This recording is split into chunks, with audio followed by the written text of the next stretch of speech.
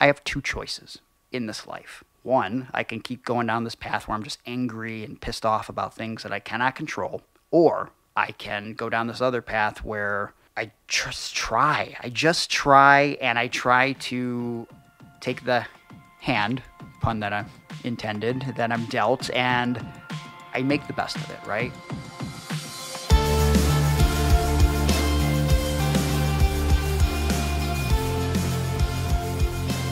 All right, hello everybody, and welcome to the What You Don't Hear podcast. It's a life podcast, it's a life story podcast. It's an open journal dive into people's lives as I sit and I uncover the real story behind my guest journey, finding out what makes them who they are and everything that they do, talking about all the ups, all the downs, and all the thoughts and feelings in between, uncovering the parts of their story that, well, otherwise we wouldn't get to hear about. I am your host. My name is Ross Theisen.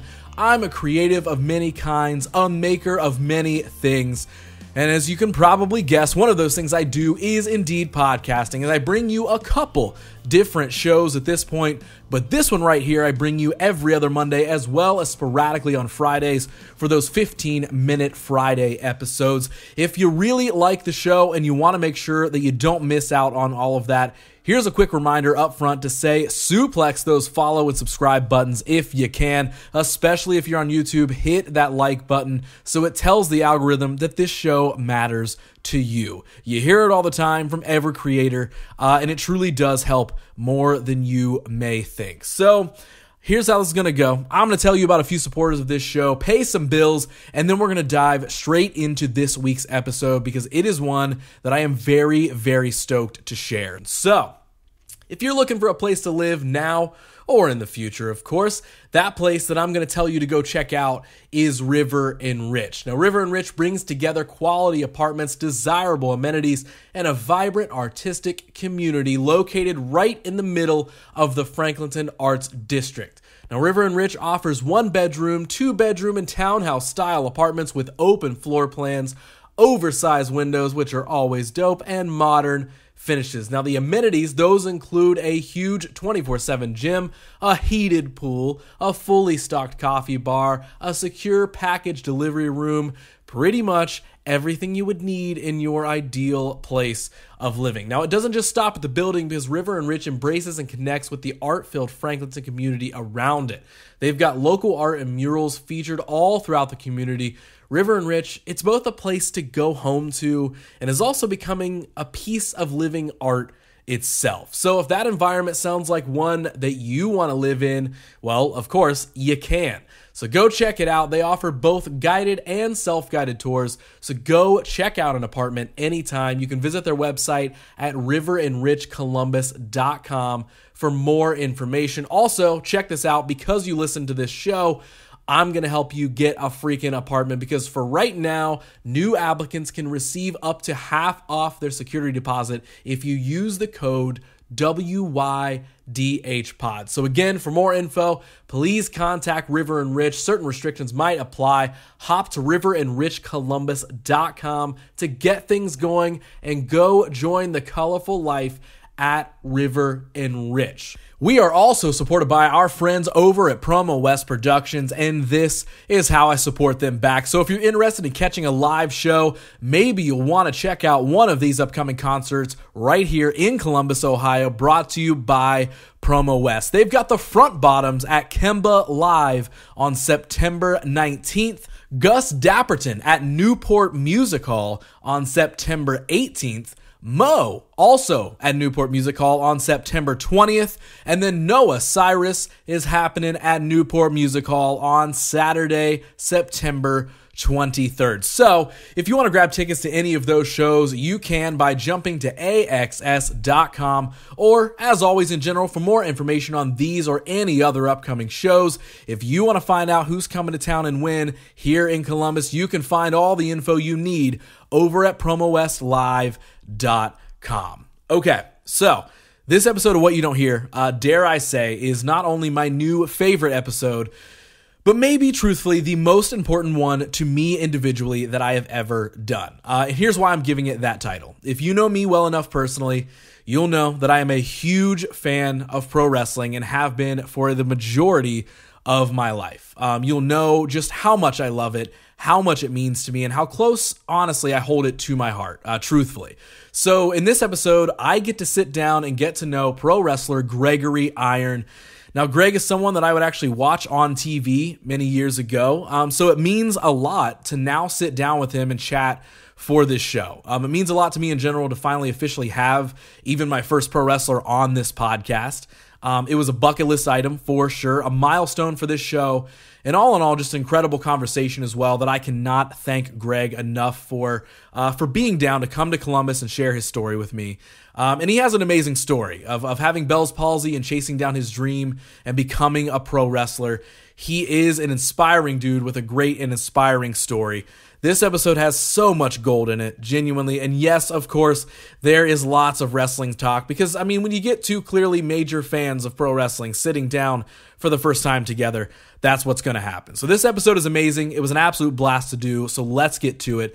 Making its way to the ring. Yeah, it's episode 92 of What You Don't Hear and my conversation with Gregory Iron.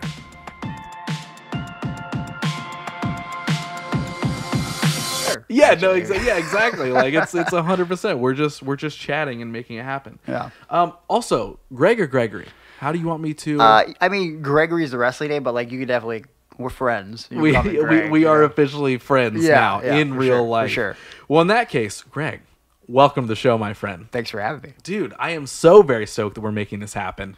Um, on a multitude of levels. Um, one, we have had to reschedule this a couple times to actually meet up in person and make this happen. Mm-hmm. Yep.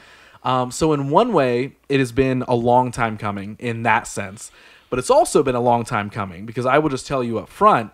Uh, I remember back in the days of flipping to a local Ohio sports channel at like 1 a.m. in the morning Mm-hmm. and watching you and the rest of the gang on Pro Wrestling Ohio. Yes. Very, very late at night. So, in that sense, for me, it's also been a long time coming to get to sit down and chat with you about literally just anything. Yeah. Uh, in that sense as well. That's crazy, man. Like I always forget like the impact and the reach that Pro Wrestling Ohio had. Uh, and Yeah. I, I've told this story I think before, but like a couple years ago, I wrestled in Oakland, and I had a line of fans to meet me.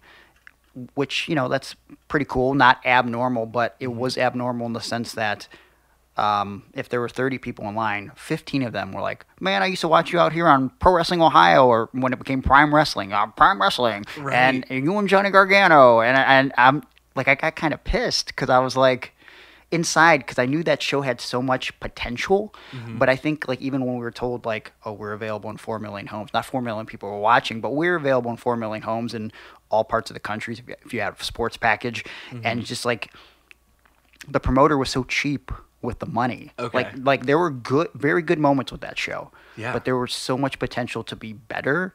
And uh when all the fans would just be like, "Oh yeah, I used to watch on there," I'm like, "Damn it! I wish that show was so much better." Because like, obviously, it stuck with people for a reason. Yeah. But man, just so much untapped opportunity with the characters, the stories, but there was Oh, just no I'm money, sure. no money to it. Yeah, no, I'm sure. oh, I remember. I mean, even just thinking that just how cool it was in general. That like at that point in time, like I mean, YouTube was definitely like becoming a thing.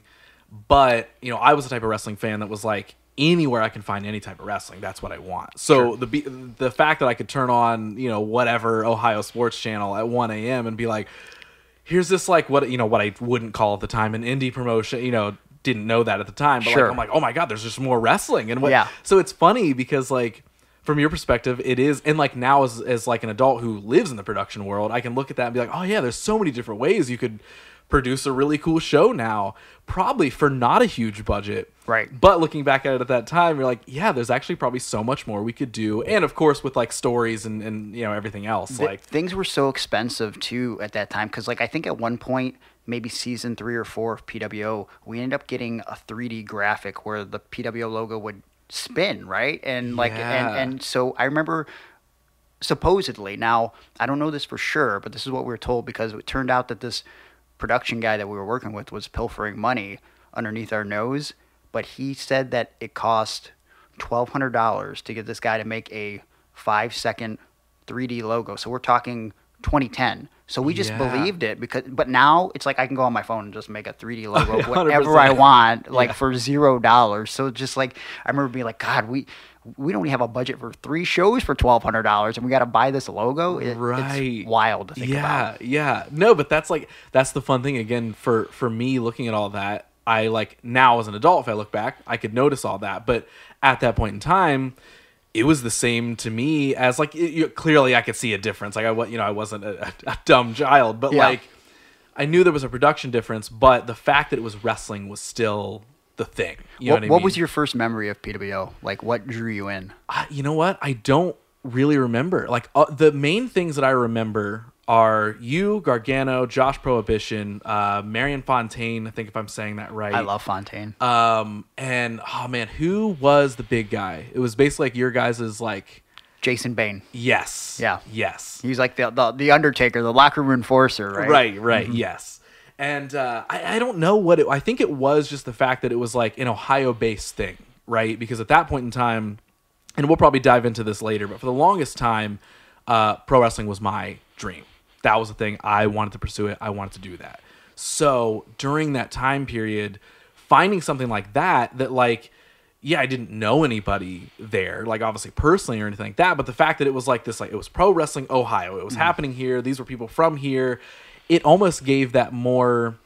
It felt more realistic. It felt more tangible. Yeah. Right. It felt more in a strange way, even though, of course, things like WWE or at that time, like TNA and Impact and all that sort of stuff, those are the big shows on TV, like with the high production budgets and all that sort of stuff. But there was something about PWO that was like, oh, this is like, like the real, like, you know what I mean? Yeah. Like, again, not that like there's one difference between like something being real and something being produced, but like it felt more at like a, a obtainable level. Yeah, that's what I was gonna say. Attainable because Yeah. like like it seems so close to home. Because like for Exactly. me, I, I can relate to this. It's like when I would watch the WWF, the only guy from Ohio in like the late '90s was Al Snow from Yeah. Lima, and I didn't even know where Lima was. Right. So I was like, oh, I wish we had someone from Cleveland. And so fast forward, I remember the Backyard Wrestling video game came out for Xbox, Mm-hmm. and for Xbox you got like DVD quality features, and they're interviewing M-Dogg 20 Matt Yeah. Cross, and they're in California filming this, and they're like, "How do you feel to be in sunny California?" And he's like, "Well, it's much better than you know cold, wintry Cleveland, Ohio, where I'm from." And I remember being like.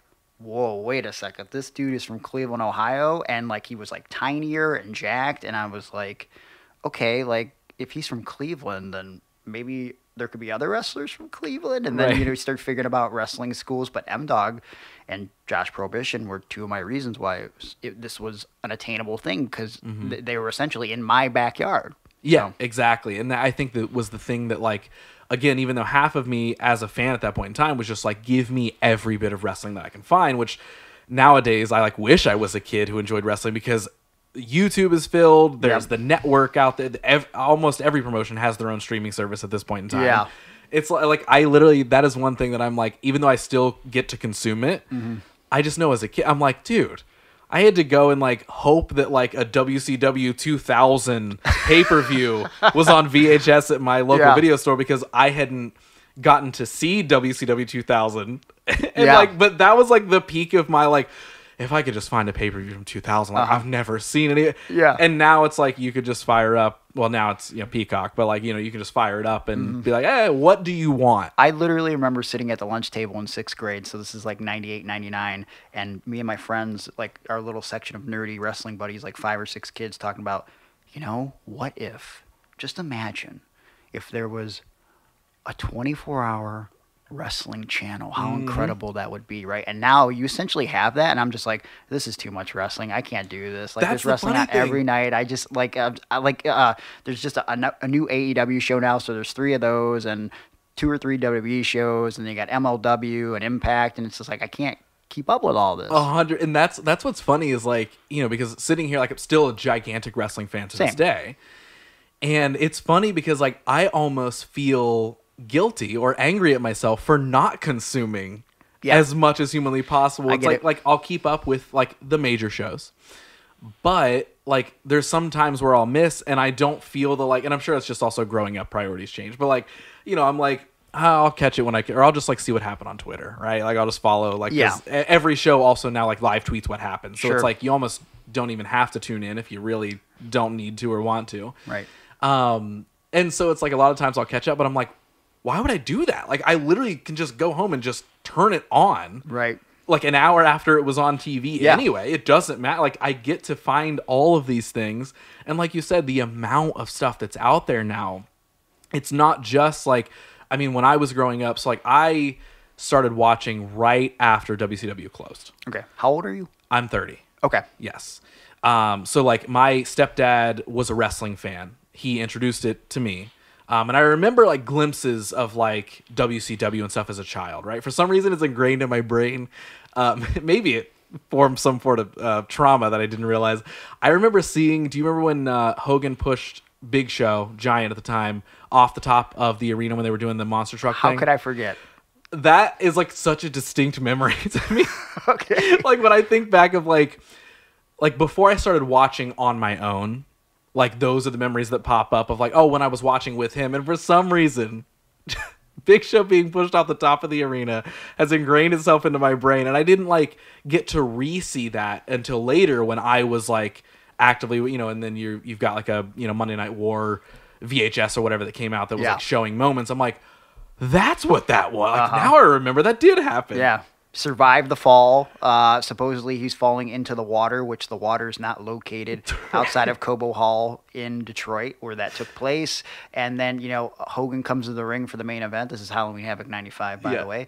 And uh, he starts to cut this almost somber promo. Like, you know, him, he's about to announce that the Giant has tragically passed away after being accidentally pushed off the building. But then Giant, with no water on his body, no wounds whatsoever, no fine. bruises, he's not limping. He just comes to the ring and wins the WCW World Heavyweight Championship. But Yep. not uh, after, of course, you, you have the, the Yeti Of come the, to the, the ring Yeti, to dry which is of hump. course physically a mummy. Yes, yes. It's supposed to be a mummy, but uh, he's uh, Called Yeti, Yeti. should be, you know, frozen and uh, uh, you know, semantics. It doesn't The- matter, of course. And then uh, the dry humping that occurs between the giant Hogan and the Yeti, uh, very, very. Exactly. legendary stuff. I'm, I can see 100%. why you would be traumatized, but I would figure more so by the dry humping that occurred post match, Right? more so than the fall. I somehow forgot the Yeti. Just remembered the giant uh, falling to his death, apparently, Uh-huh. Yeah. allegedly, and then of course coming back that night. And uh, hey, this is a good moment uh, for the show. Any non-wrestling fans out there that check this out, welcome to the show because uh, these are the conversations that are going to be happening here. Yep.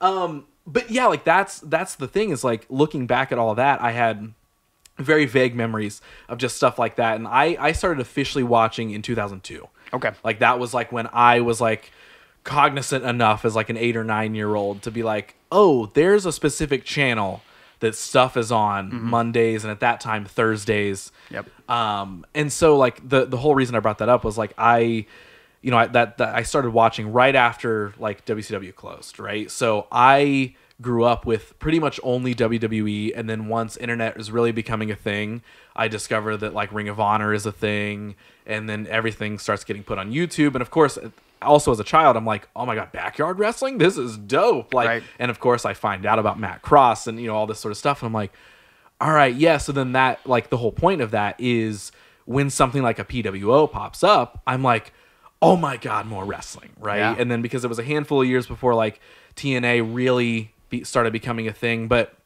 again, anywhere I could find it is where I would just go because for a while I know Impact was on at like 4 p.m.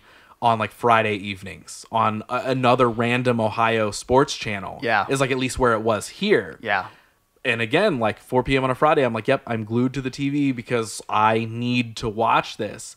And so, all of that to say, as an adult now, with every ability to watch literally every show that I want of a wrestling show, it's weird because like I almost feel like I'm letting that child version of me down. Cause I'm like, dude, you have everything you want now. You don't have to wait for the random VHS to maybe show up at your video store Yeah. there's a network there's a streaming service for almost everything there's 97 weekly shows from every promotion that exists Mm-hmm. Yep. you have access to all of it I, I, I feel like I'm letting that child down in me too, but also by the same token, speaking from someone that got into wrestling and then let wrestling consume him for the last 17 years, I try not to feel so bad because I think there was a point in my wrestling journey, uh, making this my profession, where I thought I had to have it be all consuming in my life. You know what I'm saying? And I forgot for like I'm very pop culture literate, and I think when I start wrestling in 2006, all of a sudden, like my knowledge of movies becomes really skewed and TV shows because it's like everything in my life, especially training with and living with Johnny Gargano, who's now in WWE and, and did things for NXT for a long time. I felt like I always had to keep up with him, and he was just naturally talented, right?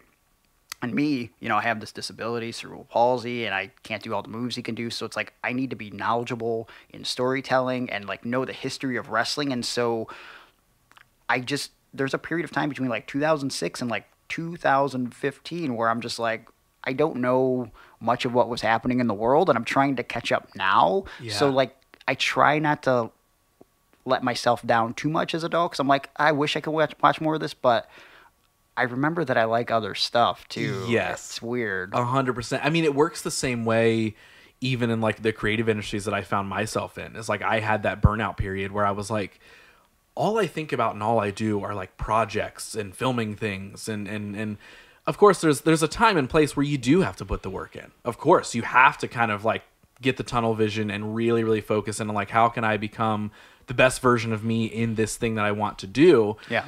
But there is a balance just like with everything. And like i found that exact same thing where i was like why do i only like hang out with like other production people? Or why do i only like i, I found it for a while like it became hard maybe hard is still even a strong word but like a bit odd to have conversations with people that weren't also doing something creative right? Or Mm-hmm. get it. w- wasn't like pursuing something. And and i mean i'll be honest today it still sometimes is.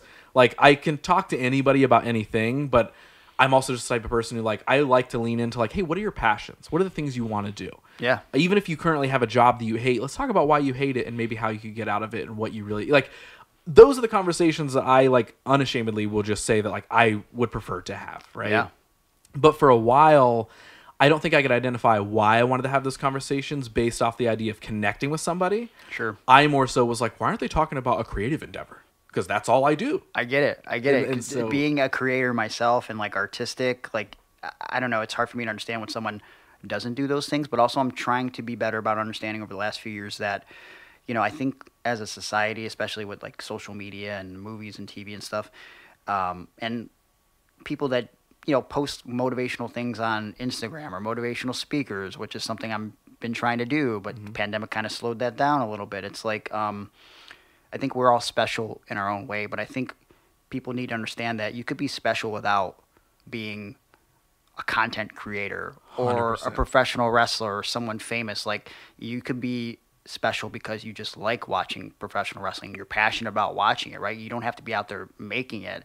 Um, if you're passionate about bagging groceries at the grocery store, more power to you, right? Because like there's something incredible about passion that like you know, if you knew nothing about pro wrestling right now, and who knows how deep this conversation is going to go, but when you hear me talk about pro wrestling and you see it in my eyes and the way I, the, the infliction in my voice, it's like, um, maybe you don't know pro wrestling, maybe you don't get it, but you get passion because passion's a universal language. So if you hear the way I'm talking about it and you see it in my eyes, you don't get it, but you get it because you get passion. Everybody's passionate about something. So that's the way I try to look at it. It's like you don't have to be special by being in the public eye.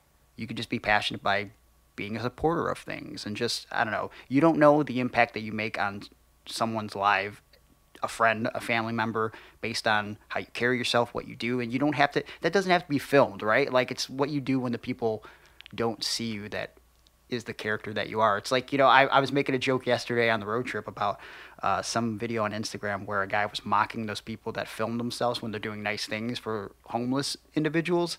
Like, and it's like, you know, the, the way the guy's talking, it's like, hey, uh, do you have anything in the store for a dollar? All I have is a dollar. And the guy's like, no, we have nothing for a dollar. He's like, are you sure? Because I'm filming, so you don't have anything for a dollar? And the guy's like, oh, you're filming this?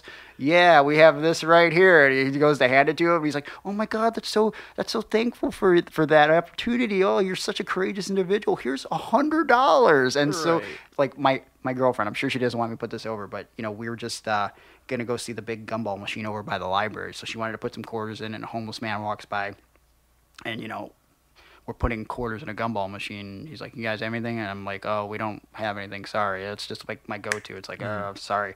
Um, and then as he's walking away, she remembers that she had this gift card for a restaurant that she had got for another homeless individual that comes into the library that she works at, and she hasn't seen that person since. So in that moment, she thought about that and ran over and gave him the gift card so he can get something to eat. And she came back, uh, and I said, "Well, you really dropped the ball. You should have filmed that so everybody knew that you were a really good person." Yeah, that, you that was good content you just did right there. Yeah, no, that's and that's 100% accurate and that is like where like it was never that deep, but I 100% agree with you on like where I've now found myself is on that side of things. Like that's why I say like I don't care what somebody does. I just know like I want to have an engaging conversation with them, right? Yeah. And that doesn't mean that a normal conversation can't happen. Sure. But that's still the residual like leftover difficulty sometimes is, you know, someone can sit and complain to me and be like, "Yeah, dude, uh, work sucks. I hate it."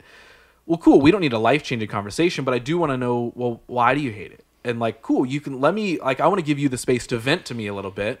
And then not that I'm going to have answers for you, but maybe advice or opinion or just an outside thought helps change a perspective. And again, it's like all that sort of stuff like there's a, a quote a couple years ago that I heard that you know ever since I heard it I was like okay yeah like this is like I love this and it's kind of what you were saying of like the idea of who are you when no one else is around?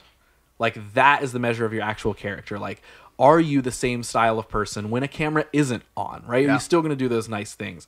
Do you still want to have those types of conversations? If I wasn't making a podcast and you and I were just meeting up for coffee or lunch we'd probably be having a really similar conversation One hundred percent. like a, hu- it's gonna be the same thing because that's just naturally how I like to get to know people, which of course is why I even wanted to start the show in the first place. I'm Yeah. like, okay, well maybe I could make something fun out of it, mm-hmm. and then instead of just me and this one person connecting, other people can connect to that person or me through the story that we share. Yes. And so yeah, it ultimately doesn't come down to like whether someone is creative or pursuing a thing or like has some really cool job or is on TV or whatever. It's like, hey, no, like everybody has something unique and special about them and that's why like I think that those things are important.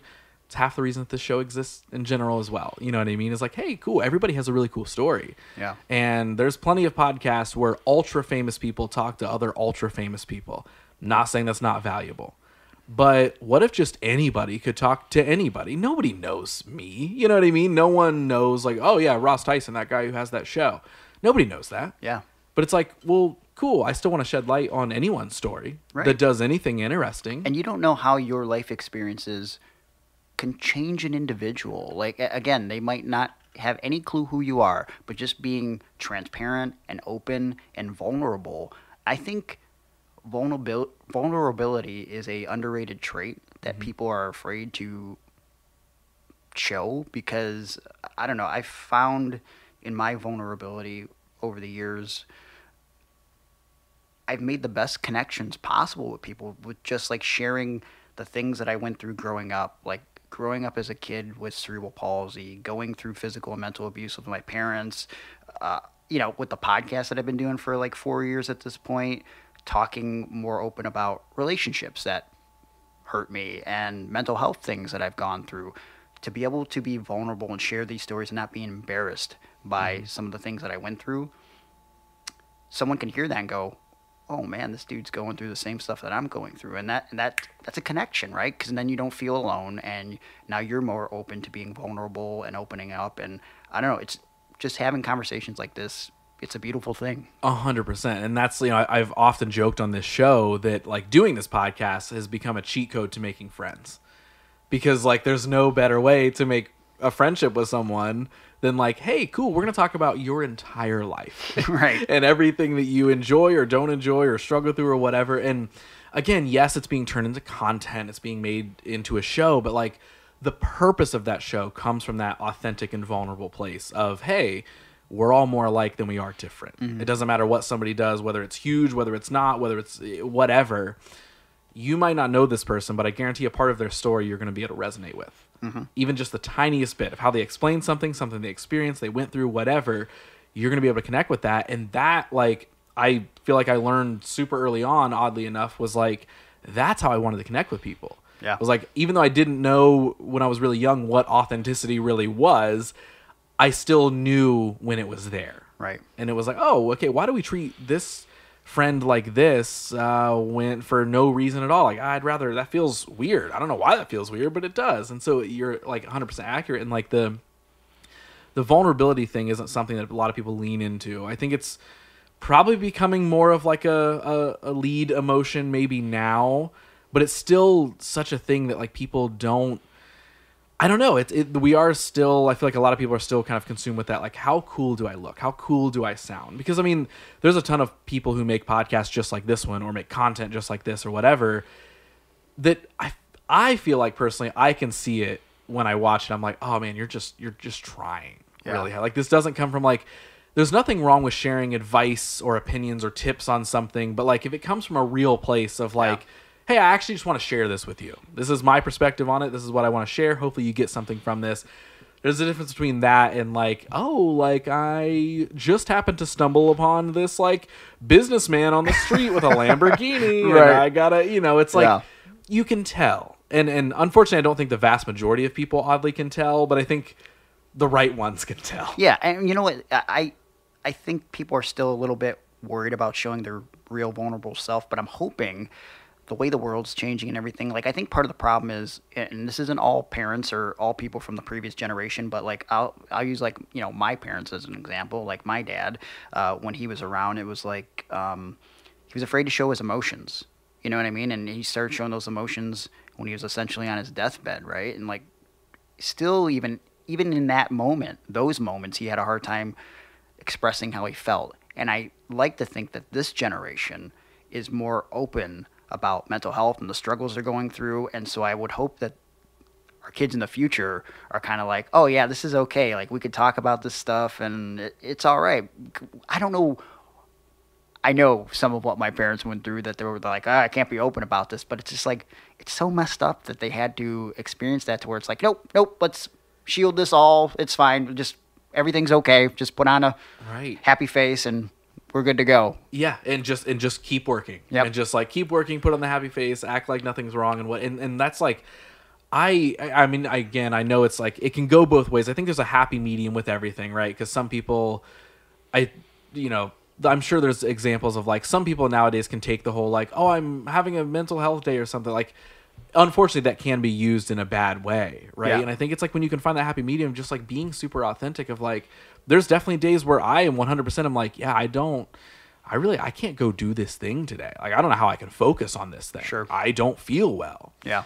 and at the same time like there's that like balance of like what could i do to make this better for myself what could i do to work through this but in a positive way not just the like again not to make this about this but like you know what the past generations tended to do was it was just like put on the happy face act like it's not a thing um, and we'll only talk about our emotions when we have literally no other choice but to confront it. And Oh, it's yeah. like what if we were just a little proactive and like just kind of continually maintaining and doing maintenance on ourselves? Yeah. of checking in with ourselves and how do we feel? What made me feel this way? Good or bad? What could i be doing better? What could i like, what do i not need to work that hard on? What if i give myself a rest day? Like there's all of that balance and that's probably just life in general is like finding sure. out like how we balance this like huge storm of everything um, but i do think it's like it has gotten a lot better. And i do just i personally believe that there's so much more value in leading with authenticity in whatever way that that is.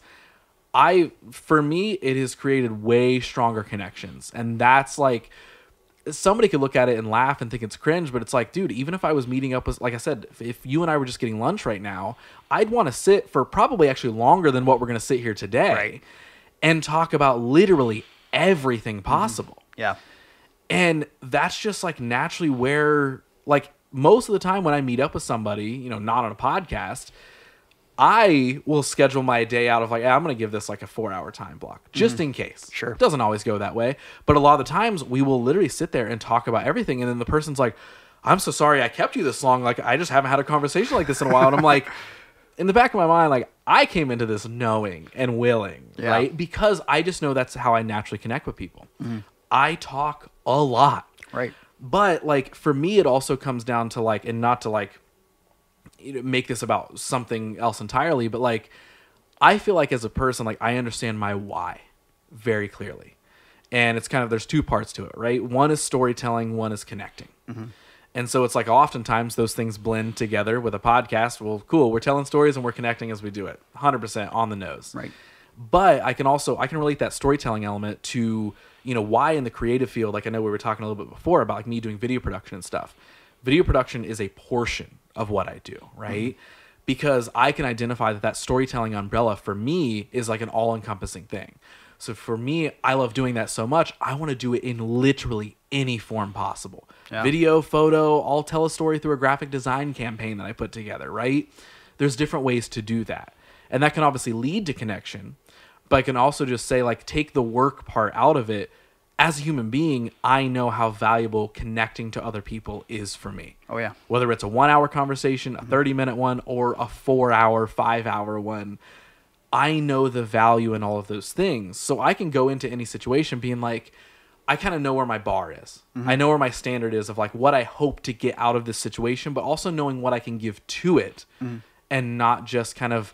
I, I think that's what a lot of us tend to miss and why things are often maybe harder than what they need to be is we don't know why we like it or we don't know why we want to be a part of it. And it's like there there's times where like I've identified things in life that I'm like that would be really fun to do. But I don't like I can identify like I don't know if that really connects to like my why. Sure. Right? Like creating that thing would be fun, but I don't really know if I should. But I some, think- but but sometimes like I think you have to take that risk and just try. 100%. You know what I'm saying? Because like like I I found that trying and failing is much better than not trying and regretting A because there's percent. nothing more painful than regret. And I again I, I I could keep going back to my dad. It's like you know I feel like in a lot of ways he wouldn't verbalize it because God forbid, but I think he regretted a lot of the decisions he made as a person, in his jobs, in his relationships.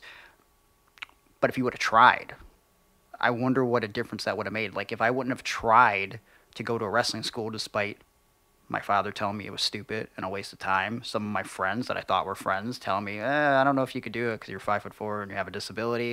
If I wouldn't have tried and failed again and again and again, I don't get to have the successes that I'm having right now. And and I feel like, you know, you talk about finding your why. I feel like I'm constantly finding my why. I, every day I'm revealing more of, and more of my why and it comes down to happiness and peace and I think what I didn't realize with being a wrestler and putting myself out there is I enjoy giving back to people. And for a while, I thought, again, when I was just so engrossed in the bubble that is pro wrestling and not liking anything else, and I started to get financially in a better position and emotionally in a better position, I enjoy giving back to people like gift giving. You know what I mm-hmm, mean? Like when I mm-hmm. didn't have money to give gifts, like I wish I did to them, but I can't. But it's like giving someone a gift and like seeing the happiness that it, they get from that. Like it, it, uh, it just creates something in me that like you can't even describe, right? And then like outside of wrestling, which wrestling gave me so many incredible things that I wouldn't have even dreamt of because originally it's like I just want to be a wrestler to prove people wrong, right? That that this is possible. Like shut the f up, dude. Like I'm gonna do this, and all of a sudden, you know, through being vulnerable, sharing my story, that I get to start doing motivational speaking, and I have these fans and then kids at schools that come up to me. That instant gratification that I get from wrestling, where it's like I get to be the person that I wish would have came to my school when I was being bullied or was going through trauma at home, and that person tells me, "Hey, things get better." You know, like it's going to be challenging for sure, but it's not impossible. The waiting is the hardest part, and you just have to keep moving forward, right? And to to hear those kids come up to me and say those things, like that is my why. I think that's my why more than professional wrestling.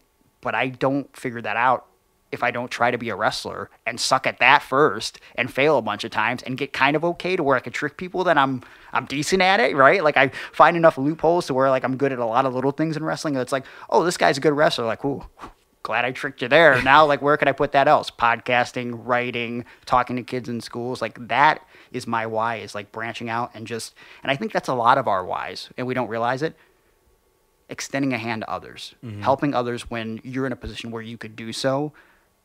I, don't I don't think there's any better feeling in this world. A hundred percent. And and just like your point of like those leaving things up to what if or leaving things kind of like a stone unturned, it's like that I think is the power of like when you can understand why you like or dislike something, you understand when you're getting into it. Like, all right, if like because there's still things to this day of like I can identify like, uh, hey, this project that I'm doing it's not really like totally a game changer, right? It's not maybe the most fun thing that I even want to do.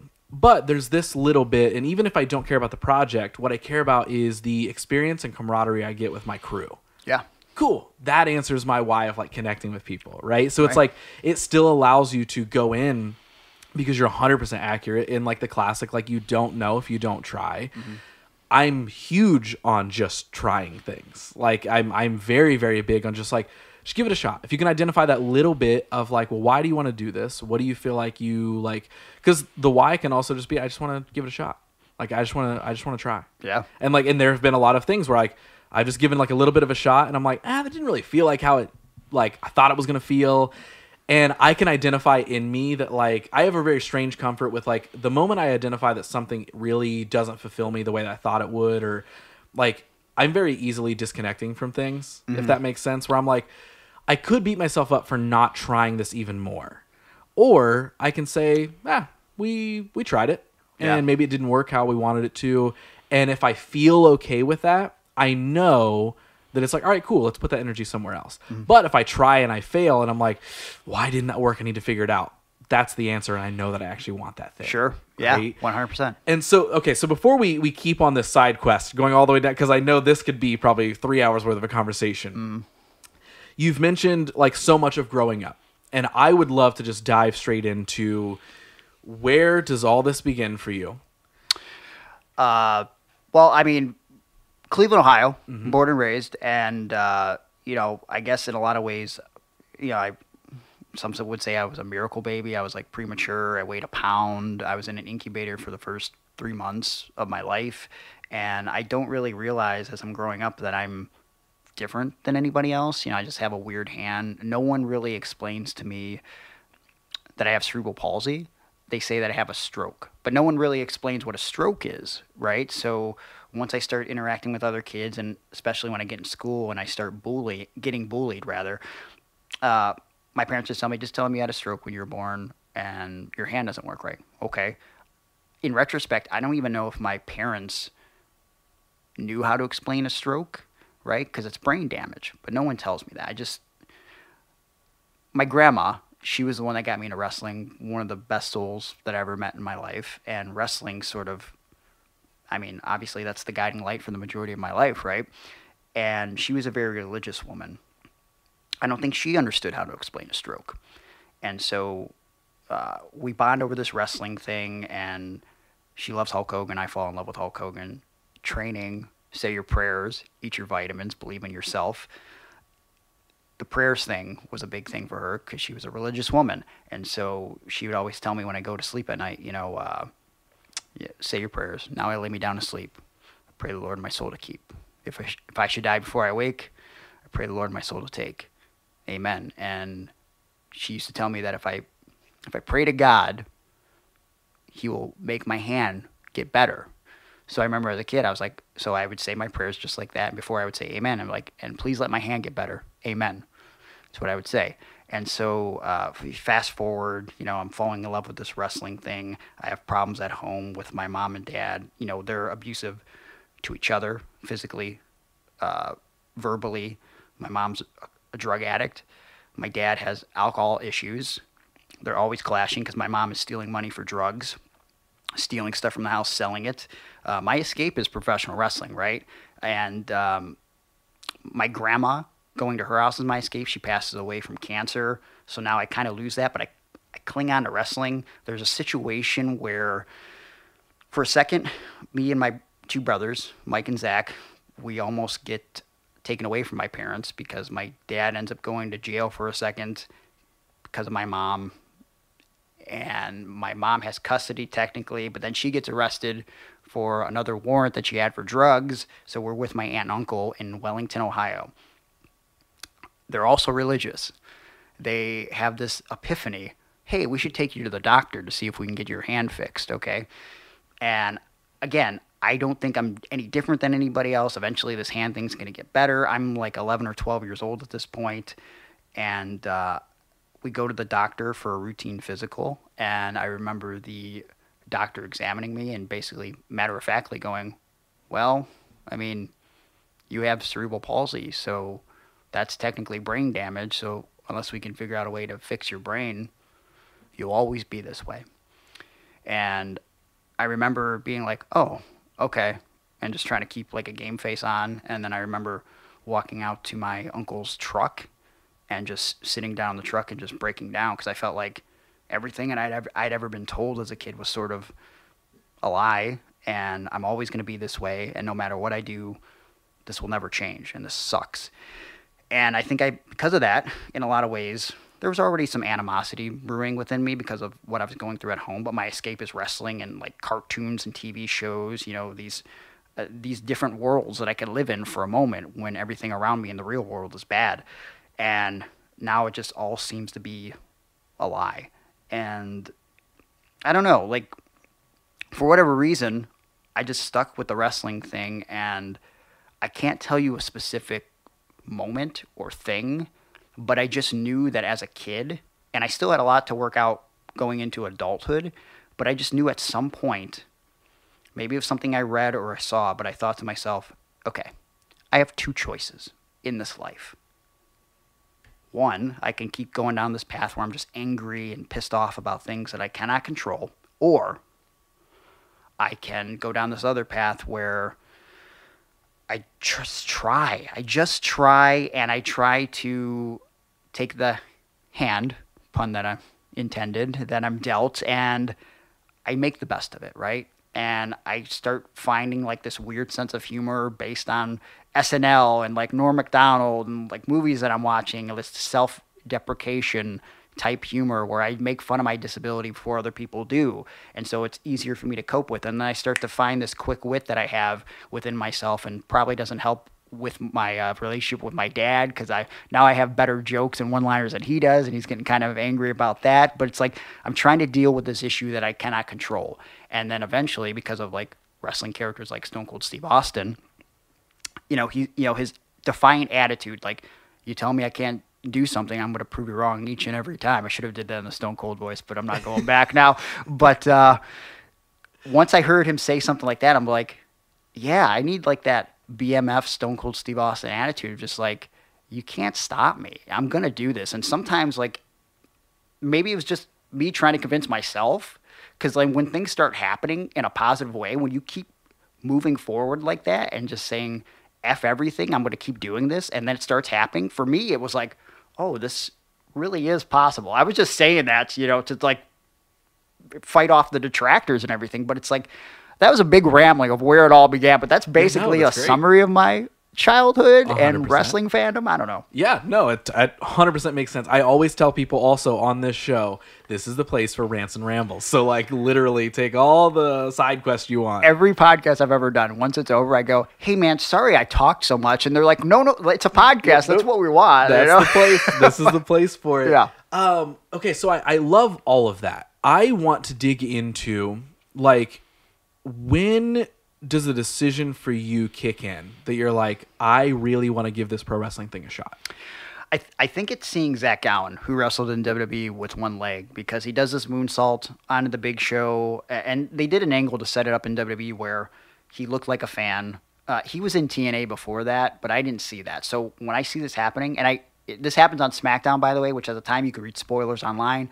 I do not want to read spoilers because wrestling is everything to me. I want to be surprised by what's happening, which kind of sucks about wrestling today. It's like just everything's instantly on social media, That's, and I can yeah, never be surprised anymore. Yeah. But I remember just you know watching SmackDown. He gets pulled out of the crowd. Uh, he tries to save Mr. America, who's Hulk Hogan in a mask. Roddy, you sure? I, you sure? I, I think so. He's got the mustache. He's saying brother. I don't know. I remember that lie detector. classic Mr. Mr. America.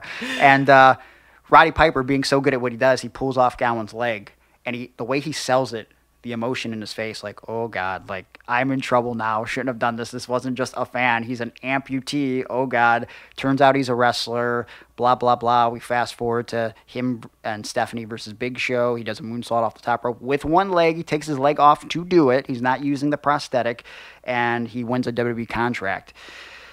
I remember thinking, like, boy, if this guy could do it with one leg, maybe I could do it with one good arm, right? And I remember a couple weeks later, he ends up wrestling Vince McMahon at Vengeance 2003 in Denver, Colorado. And there's a sign in the crowd that says, Shame on you, Vince, with a handicap symbol. And I remember thinking, handicap symbol, like, that's such like an identifiable thing. When you see it, you know what it is. And I remember thinking, Zach Gowen should wear a handicap symbol on his trunks. Just put it out there, you know? Like clearly he's missing a leg, but just why not own that? And I thought to myself, if I were ever a wrestler, I would wear handicap symbols all over my gear, probably right on my ass.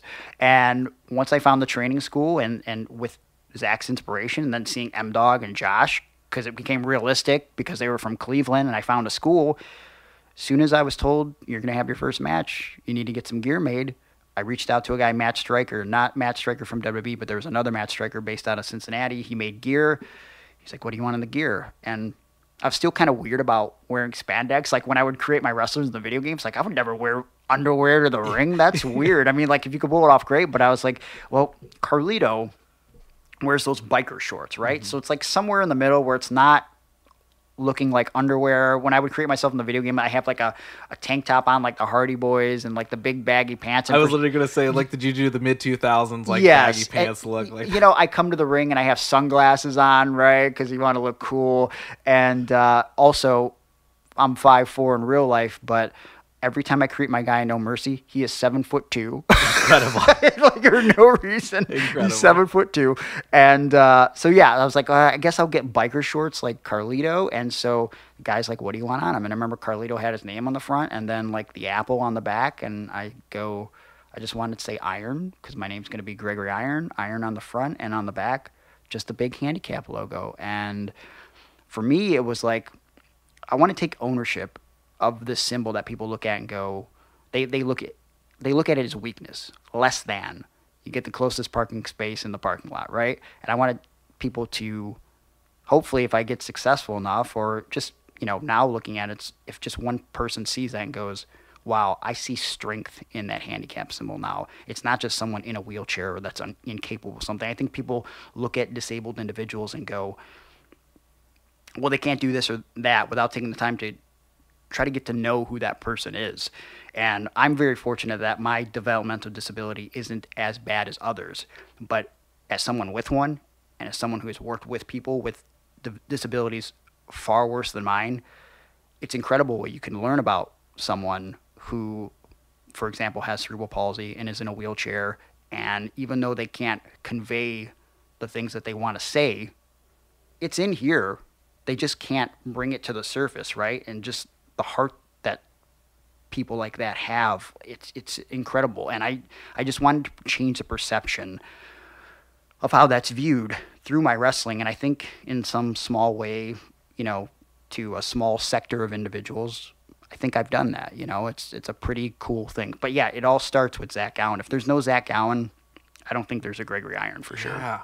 So when you decide to enter the world of pro wrestling, what is that process like from a personal standpoint? Like, do you? I think you mentioned it earlier. Like, was there pushback from anybody around you who was like, "Why? Why are you going to do that?" Or no, you you shouldn't go do that. You can't go do that. Walk me through that. I don't think there's one person that I told that was supportive of really pro wrestling. I mean, I my dad definitely wasn't. He thought it was dumb, and honestly, like I wasn't as worried about the disability as much as I had never really done anything athletic in my life with any level of success. Like I was the kid in class, like I like playing basketball, but I'm not good at it. If I get past the ball, every kid in the class is like, Greg, pass the ball. Do not shoot it. Do not do. And I'm like, no, I think I got it this time. And you know, with my one hand, I, you know, like I'm in visualizing like in the movie, like I'm gonna get this three pointer from the distance, and I'm gonna win the game for the team, and they're gonna go crazy, and they got me on the shoulders. Greg, Greg, Greg, and then I just throw it, and it doesn't even hit the rim at all, not even the backboard.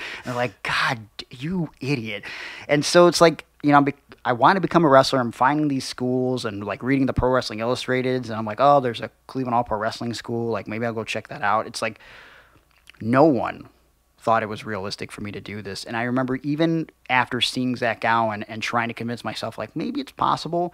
I remember when I got a flyer for a Cleveland All Pro Wrestling show ran by JT Lightning. There's a number at the bottom Cleveland All Pro Wrestling Hotline, okay? And it's like a 216 number. It's just a landline. I, I don't know this. It says hotline. So I remember I call on the phone and I go, lady picks up, hello? And I go, hey, um, is this the Cleveland All Pro Wrestling Hotline? And she goes, hold on a second. And she hands over the phone and it's JT Lightning hey, this is JT Lightning, dude. What's up? And uh, yeah, I saw your flyer. You guys have a pro wrestling school, and I'm thinking about coming to it. But then in that moment, I'm like, mm, like I want to tell my situation, and now as I'm telling him the situation, like I have cerebral palsy, and I'm like five four, uh, so my hand doesn't work right, and so now I'm not gonna pitch being a wrestler. I'm like, but like do you guys train people to be like a manager or something? Or you know before i thought i could be a wrestler i wanted to be a commentator or a writer because i'm starting to realize getting smarter to wrestling like these are jobs you can have. So maybe i should do that which is why i know so much useless wrestling trivia because i didn't think that you have a paper in front of you like jim ross or something with factual information. Like you have to know this stuff right, on the yeah, fly yeah. right? So like that's why i don't leave the house and i'm not going on dates. I definitely need to know the history of professional wrestling. 100% and um, I try to pitch being a manager, and JT goes, which in retrospect is crazy because JT was not very nice to me, uh, very much a hard ass, and we did not have a great relationship. But in this first moment, this first interaction that I had with him on the phone, he listens to my story. He listens to my pitch about being a manager, and he goes, No, no, no, you should train to be a manager. Let me ask you something, kid. Is wrestling in your heart? And when he said that, I was silent. I felt that lump in my throat. And I'm a very emotional guy in general. I connect with wrestling on this deep level and it just makes me emotional. I remember when he said that to me, I got that lump in my throat. And I waited and I go, Yeah, wrestling's in my heart. And he's like, Then you need to come down to the school and train to be a wrestler. And that's what changed it all for me. I was like, I guess I'm going to try to be a wrestler. And then I remember I went down to the school. It was like winter 2005, so I was still technically in high school. I was 18 though, so I was allowed to start training.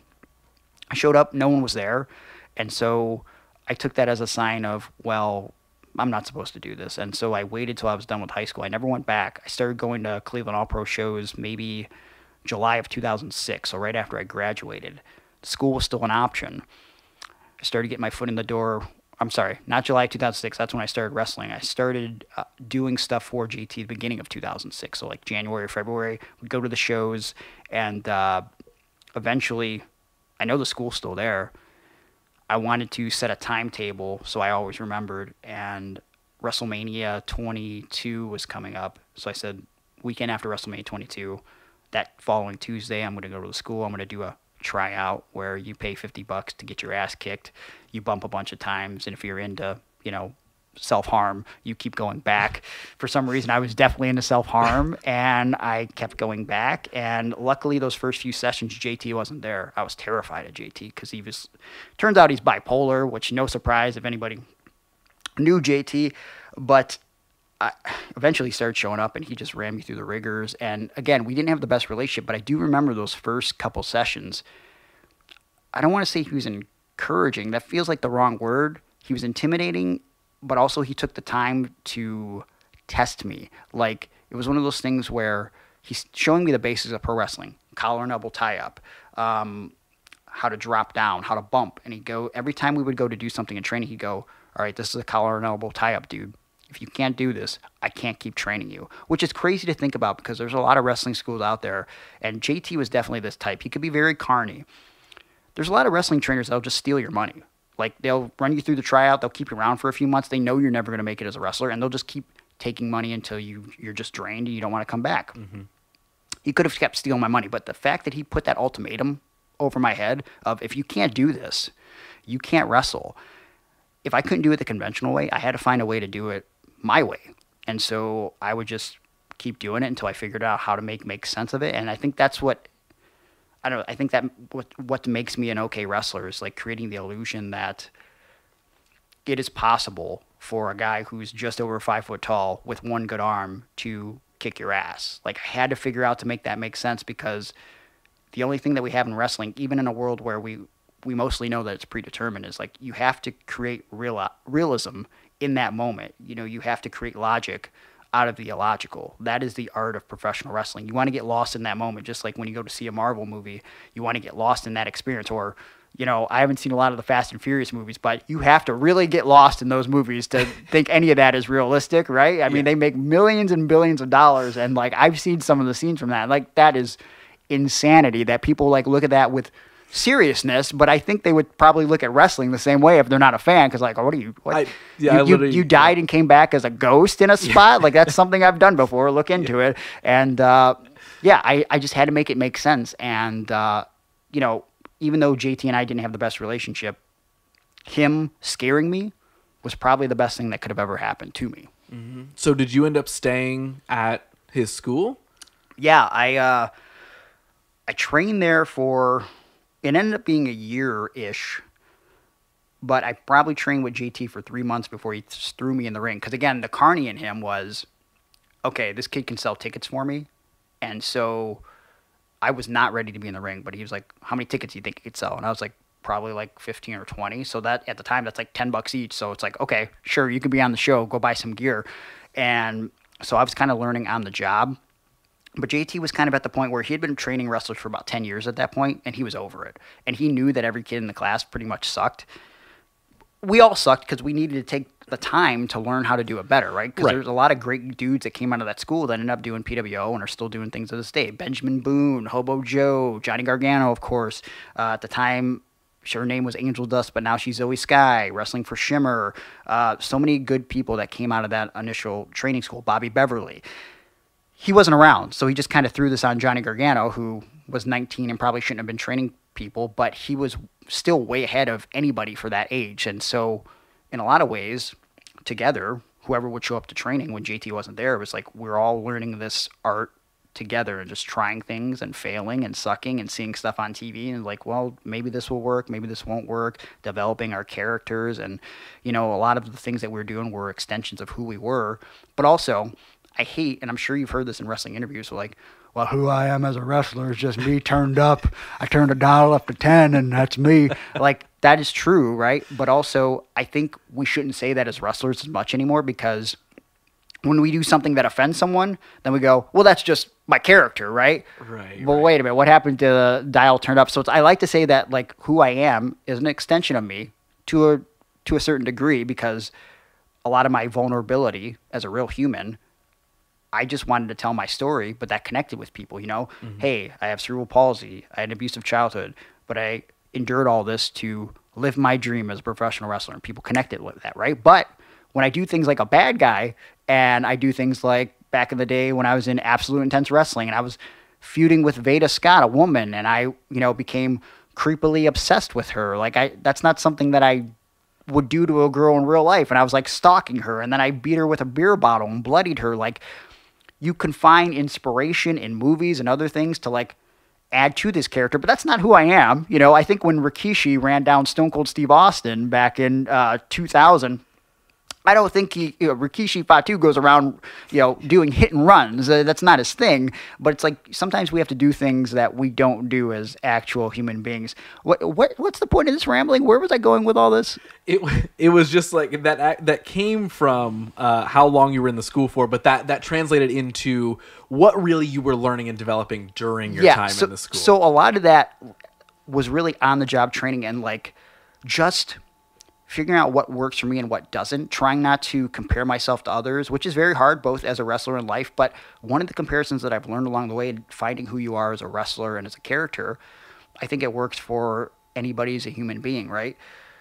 to bring out my comfortability as a performer, I had to work with characters that brought something out of me to where, like, think about any relationship you've had in your life a friendship, uh, boyfriend, girlfriend, boyfriend, boyfriend, whatever you're into.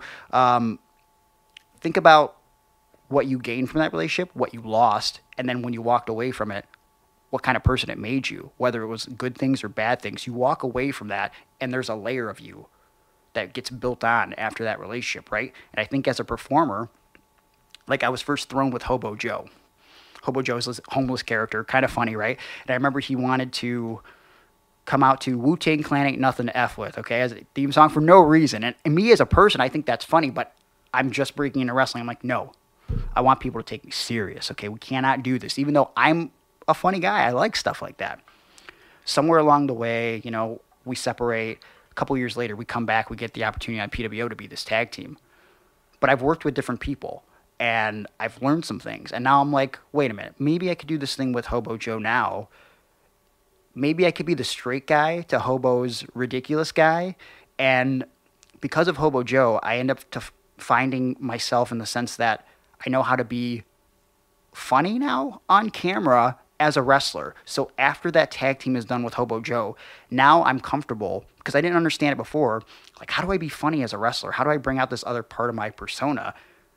Working with Hobo Joe and building that layer, leaving that relationship, it helped me be comfortable as a funny performer, right? And mm-hmm. now I could be a singles wrestler or a bad guy and like have this layer of hilarity to me, like have the smart aleck attitude. I love the Ninja Turtle, so I like to think that Gregory Iron, much like Greg Smith, he's sort of like Raphael, right? Like like he's kind of uh, he's he's got a a trigger, yeah, like a short fuse there, and uh, he can have a little bit of an attitude, kind of crude, you know, attitude, and uh, things can just set him off, and uh, he doesn't know that he's this five foot four guy with cerebral palsy sometimes, right?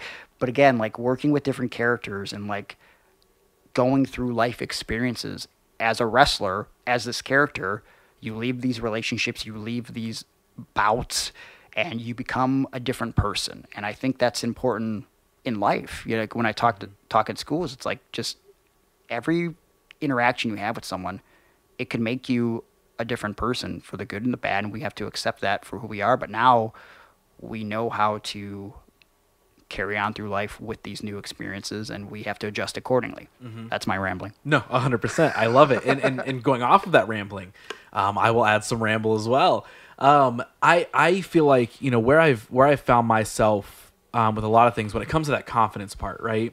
Is I feel like I almost identify those things as like there's two different versions of confidence in us there's like what I would call like a subconscious confidence, maybe that calloused type of confidence, right? The one that's like gets built up from like this is what we develop and what we learn from all of these different different experiences, whether it's relationships, interactions of any kind, whatever. And then you also have that like that conscious confidence, the one that we lead with, right? Mm-hmm. That's the that's the type of confidence that you can walk into a room with and be like, okay, cool, I know kind of how I need to actually be or present myself. I've got it's like almost a little bit of a character, right? But you're like, no, this is I just feel good today. This is how, you know, what it is, whatever, right? But I also think that when that confidence lacks, we forget that there's kind of that like reserve tank that we can tap into. Right? And I say all this because I feel like I and it might be a weird way to explain it, but I feel like I experienced a heavy version of that in the last like year of my life where like I built myself up to like the most confident version of me that there's ever been, right? And I don't mean that in any other way other than just like happy version of me, right? I, yeah. I felt like I was, you know, I, I, started getting a gym routine down. I started just like focusing on so many of these other things that all kind of like creatively, personal life, all this sort of stuff, like was an all encompassing positive experience. And that brought me more positive experiences. And I was like, wow, this is great. Well, then I had to realize, well, what happens when that major positive experience that was brought to me uh, goes away? What happens when I lose that? Well, I'm not going to be walking in the room every day feeling super confident, right? right? My, my, my lead confidence, my conscious confidence, it's not going to be at a high. It's probably going to be gone because now I've lost something that's super important to me. And even though, yeah, I know that I'm doing all these good things, I'm not able to feel that way necessarily, which means I can't lead with that. But through a lot of just like self work and, and reflection and all that sort of stuff during that time, I had to remind myself of, well, who are you really? What what are you like? Who are you when no one else is around, right? And we're not talking about the content creation, the the creation of any kind. Just like as a human being, what have you developed right let's remember those things and it's not about immediately being able to switch uh, like flip a switch uh, into hey remind yourself that you're a good person and that you have it in you to, to accomplish things. And all of a sudden you can walk in that room and you can feel fine.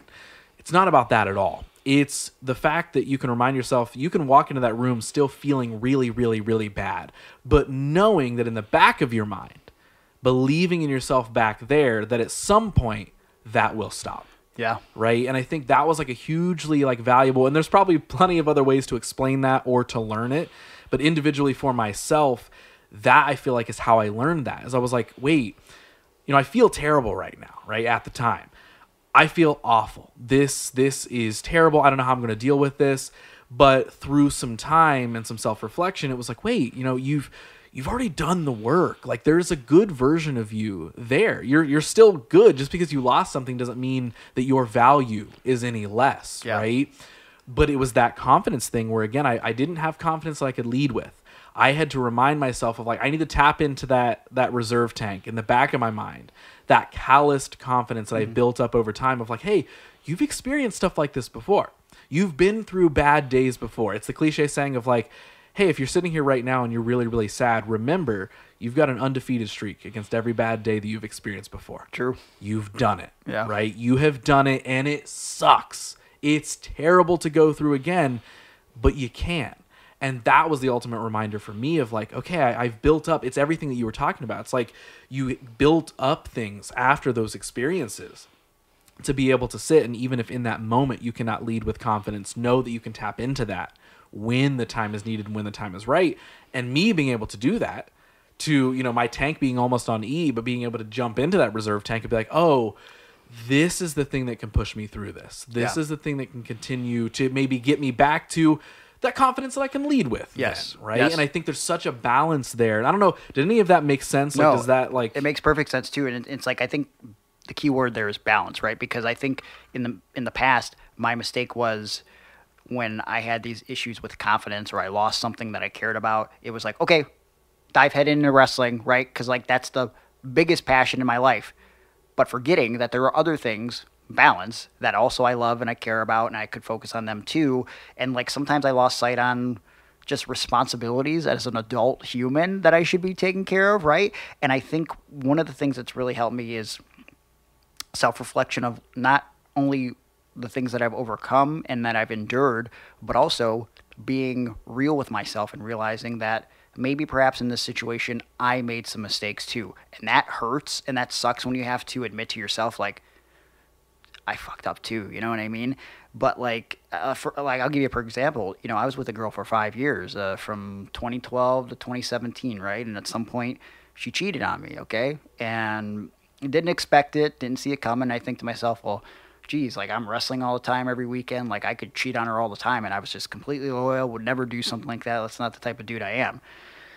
But from the moment we started dating, she was very much more responsible with her money.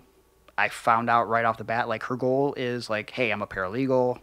I would like to save money together to maybe one day buy a house, have some kids, blah blah blah. And like, yeah, hey, I want all those things too. But I don't follow the blueprint of life. I got to do this wrestling thing first, right? Because this is what I care about. And then somewhere along the way, when I get signed to a contract, you know, we got an influx of money, then we could do it, right? So she's telling me, you know, yo, you should be able to save money. And here I am, like, yeah, like, uh, I'm having car issues, so I'm struggling with that.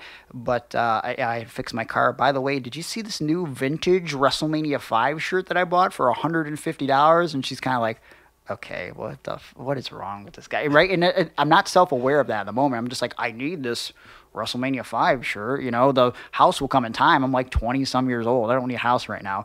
And so in retrospect, I could look back and be like, well, that was kind of selfish of me to like not think about what she wanted and just focus on well i'm doing this wrestling thing. It'll come when it comes right? And so it sucks to think because i i'd like to think that i'm a pretty thoughtful person.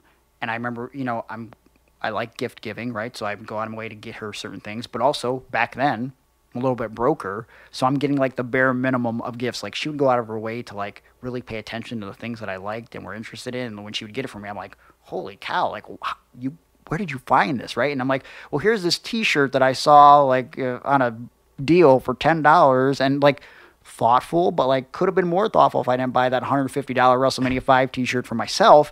And so I say all that to say in time I grew up, you know, and I started to realize like maybe I shouldn't maybe I'm more selfish than I think, right? And I should probably be thinking about especially when you're entering a partnership, a union, uh, what this person wants and needs too. And so it's like doesn't justify her cheating on me, but in retrospect, I could see what built up to that happening because like I wasn't fulfilling things that she needed and she didn't know how to verbalize that and so unfortunately she acted out but it's like you know i don't know what she's doing right now i hope she's doing great but it's one of those things where it's like i don't want to say what if but it's a learning experience you know what i'm saying because now i'm in a situation where previous relationship i had was like the best relationship i ever had in my life and she gave me the opportunity with my growing and changing to show myself i guess that i could really be a great partner. And that sort of ended suddenly. It was just one of those things where she loved and cared about me, but not in the same way that where she saw herself spending the rest of her life with me. And that hurt. Mm-hmm. And that felt like the end of the world because I gave her my all, right? And I, I thought to myself, like, I really looked back, much like I did the five year relationship. I said, well, where did I go wrong? And it was one of those things where I don't think you did anything wrong. It just wasn't meant to be, right? But all of these moments, good and bad, you know, they again build that layer. And now Hannah that I'm with now, it's like I could be the best version of me. You have to go through the shit and fall down to have these life experiences that enrich you and build you up and just you have better experiences, right? You got to grow up. Like what you got you got to adult you don't have to grow up. You know, just be more self aware of like other people's feelings and the things happening around you and just know that like you should divide your interests so that way you don't get lost in the sauce of this one thing that you're incredibly passionate about because i'll never stop loving wrestling the way i love it mm-hmm. but i love other things too and you balance it all goes back to balance like that's yeah that's what i'm focused on with you balance now Key. how when you were so like when, when you start wrestling and things get active. And like, how are you keeping up balance during that time? I'm not. You so so because and I asked that because I know you said earlier yeah. that you sort of just do like it was 100 percent just everything was wrestling. Mm-hmm. So let's talk about that a little bit. What was and this could be a handful of years, this could be a one years, I don't know, but like walk me through, you know, because obviously I asked that question to then get to like what was that lack of balance like? So, I don't know. I think again, the pressure of being friends with Gargano, who was so incredibly talented and is even more talented today. I don't know. I just always felt like Johnny became more of a brother than a friend. So it's like I have to, I got to keep up with my brother, right? And I learned a lot from him. I think in some ways maybe he learned stuff to, from me, even if it was what not to do. But uh, I don't know. I appreciate having someone like him in my life because it definitely, I think he sort of tried to keep me more balanced for sure. And I that's something we haven't talked about. I think it's important to always be going through this self discovery within yourself and having self awareness of the world around you. But also, I do feel like it's a blessing to have a positive social circle. Finding those people that lift you up when you are down. Because there were situations where I was going through bad wrestling experiences, bad breakups where again, th- you think it's the end of the world. I mean, I remember specifically when that 5-year relationship ended and like there was like a phone conversation where like you know, I had this moment of weakness where I'm like, well, maybe if I go talk to her in person, that's going to change something. Guess what? It doesn't. It usually doesn't once someone's mind is made up and whatever. So I remember calling Johnny on the phone and I'm being like, hey, like this just happened with me and so and so and, you know, blah, blah, blah. And I'm like, uh, and he's like, come to my house right now and just we'll hang out. And I remember being like, no, I think I should go to her house and talk to her. He's like, do not do that. Absolutely do not go talk to her. It's not going to change anything, dude. Please come to my house. I'm like, are you sure? Because I feel like, and he's like, nope, nope, 100%. So like finding those people in your life, like again, yeah. you're going to have detractors, people that do not believe in you. And usually those people that drag you down, it's because their dreams died a long time ago. And that could be their own fault because they didn't invest the time and effort in it. They thought it was impossible. They listened to the lies that they were fed and they believed them, right? And that's unfortunate because going back to the beginning of our conversation, you know, why do you hate your job? You know, what can we do to change that? I think some people, I've been there myself when I started wrestling, I worked at a tool store for 5 years. I am I'm not a real man, okay? I know nothing about tools. So, I hated every second of it. And um, no matter how good my day was going at that job, once I had to walk through that door and clock in, oh, just overwhelmed with anger to the point where when I got fired, yes, I got fired, I I didn't realize the weight that was lifted off of my shoulders and like it, what it came down to was just laziness. I kept going back to this job because I knew I, I, it was just the devil that I knew as opposed to the devil that I didn't, and I didn't want to put forth the time and effort to find something else to support my wrestling habit because it took five years to start making money as a wrestler. But it's like to anybody who's like hating something in your life, stop doing it.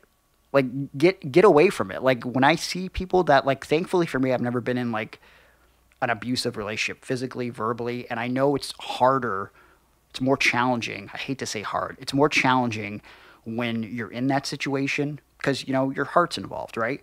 But like, man, I just can't imagine now with what I've learned, like with jobs being an example, going back to something day after day and being like, I hate this. This makes me miserable. But this is the way it is. Like you can change it. You know, it might not happen overnight. Rome wasn't built in a day, but like you have to be willing to make that change. Like uh, I had to do it from a financial perspective of like like once things were over with some of my relationships where I couldn't save money or whatever, it's like, what am I doing wrong? Like, oh, I'm buying all these hundred dollar vintage shirts. that seems like a bad idea. Or, you know, not trying to learn how to cook food on my own. So I'm just eating out every day and maybe I should be more responsible with my money. And then like, man, I gotta tell you, when you are actually, you have a, a, a an amount of money in the bank where you could be like, well, you know, if my car breaks down, it costs me like 400 bucks. Like there was a time like 10 years ago where it'd have been like, oh my God, like my world is over. Where am I going to get 400 bucks? Now it's like, well, this sucks. It is 400 bucks, but it, you know, uh, I'll be okay. Right. Like that used to feel like earth shattering. Like I'm going to die now because my car is broken down. Again, where were we going with all this? we uh, we were talking about the just the the balance of all of those things between once you get active with wrestling and and balancing all of those real life things that often will pop up and get in the way and derail you. So I think balance really became a thing for me. Um, it was a slow process.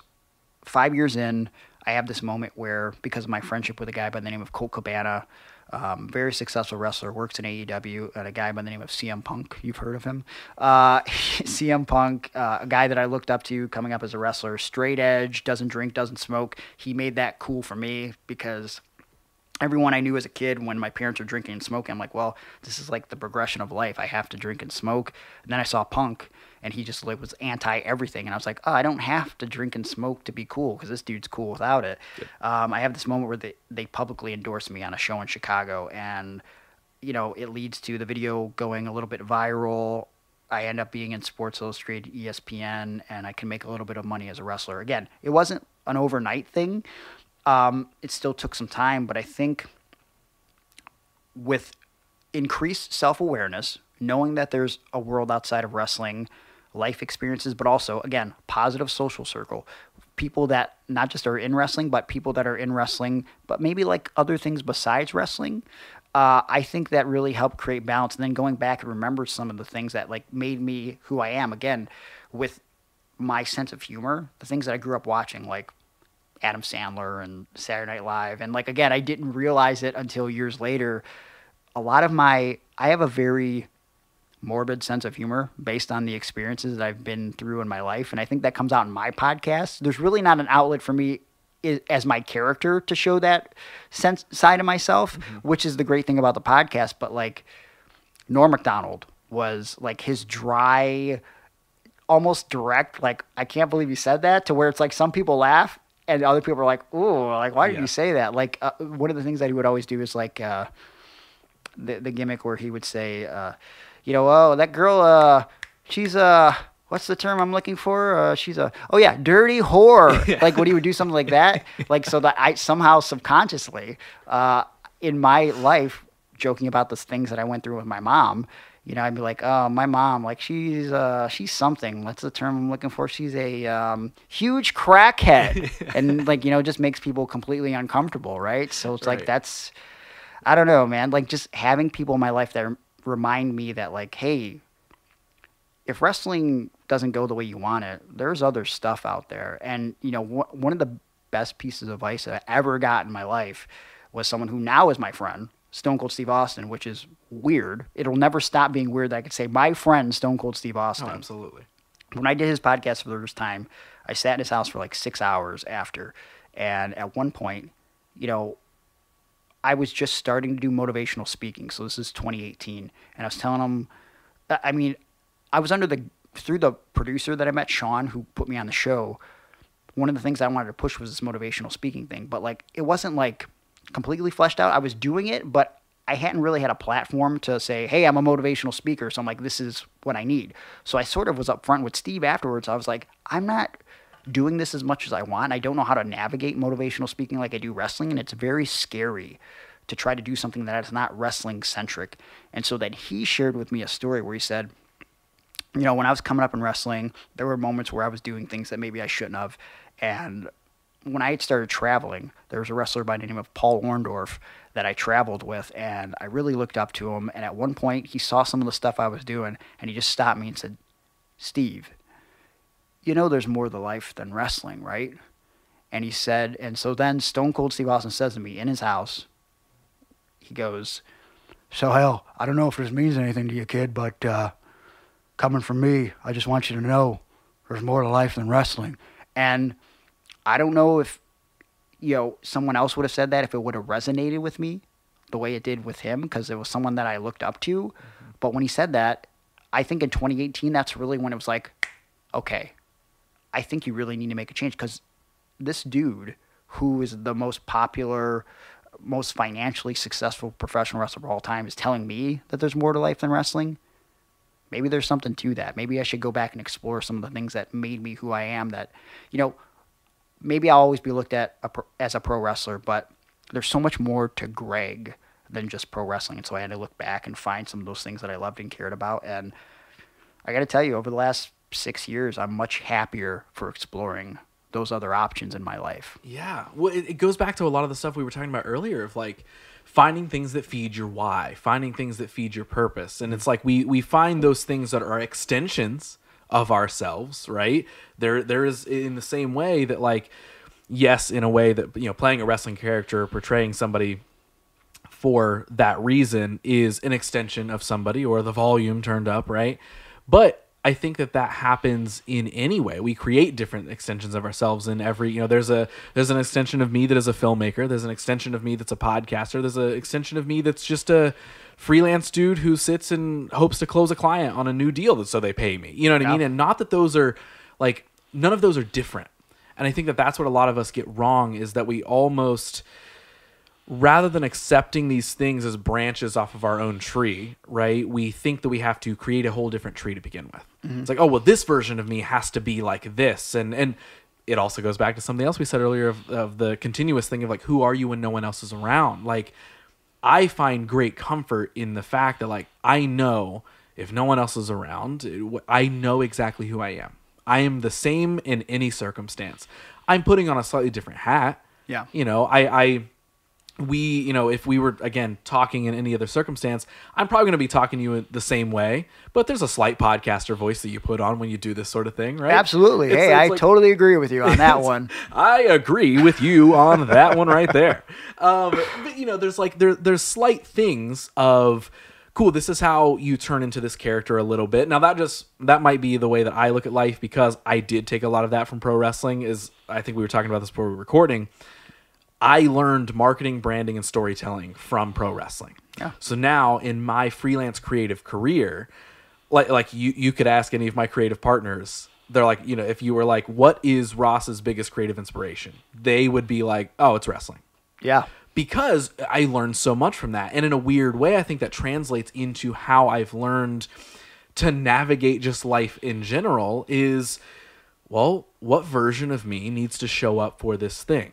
And that's not a character, that's not a facade, but it's like, do I need to be the helpful version to this person? Do I need to be a good listener? version to this person? Do I need to be the leader, the advice giver of this? Or do I need to be the person who has all the ideas in this moment right now? Like, there's different ways to tap into that. And I think it also comes to something you mentioned earlier is like it is that it's building that self awareness. Mm. It's building that, and that's such an overused term. And I think everybody in the world thinks that they're self aware. And I think, sure, to an extent you are because you're the only one in your brain, so you know things about you that other people don't. But I don't yeah. think that that translates necessarily into self awareness, is not just like, it's the balance of being both selfish and selfless at the same time. Yeah. Right? Because I think that we, when we become the most aware versions of ourselves, that often means we can become the most fulfilled versions of ourselves. And I think when you're using selfishness in that way, it allows you to become more selfless because you're more aware of what I can give to this person yep. around me, right? Yep. I think you said something similar to that earlier of like being able to give to those around you, whether that's energy, time, whatever it is. That's the ultimate power in understanding who you are. Yeah. It's yes, of course, it brings benefit to you. It allows you to do the things you want to do and grow in different ways. But I think the ultimate power in connection is cool. What does that in case like what does that um, allow me to do for other people?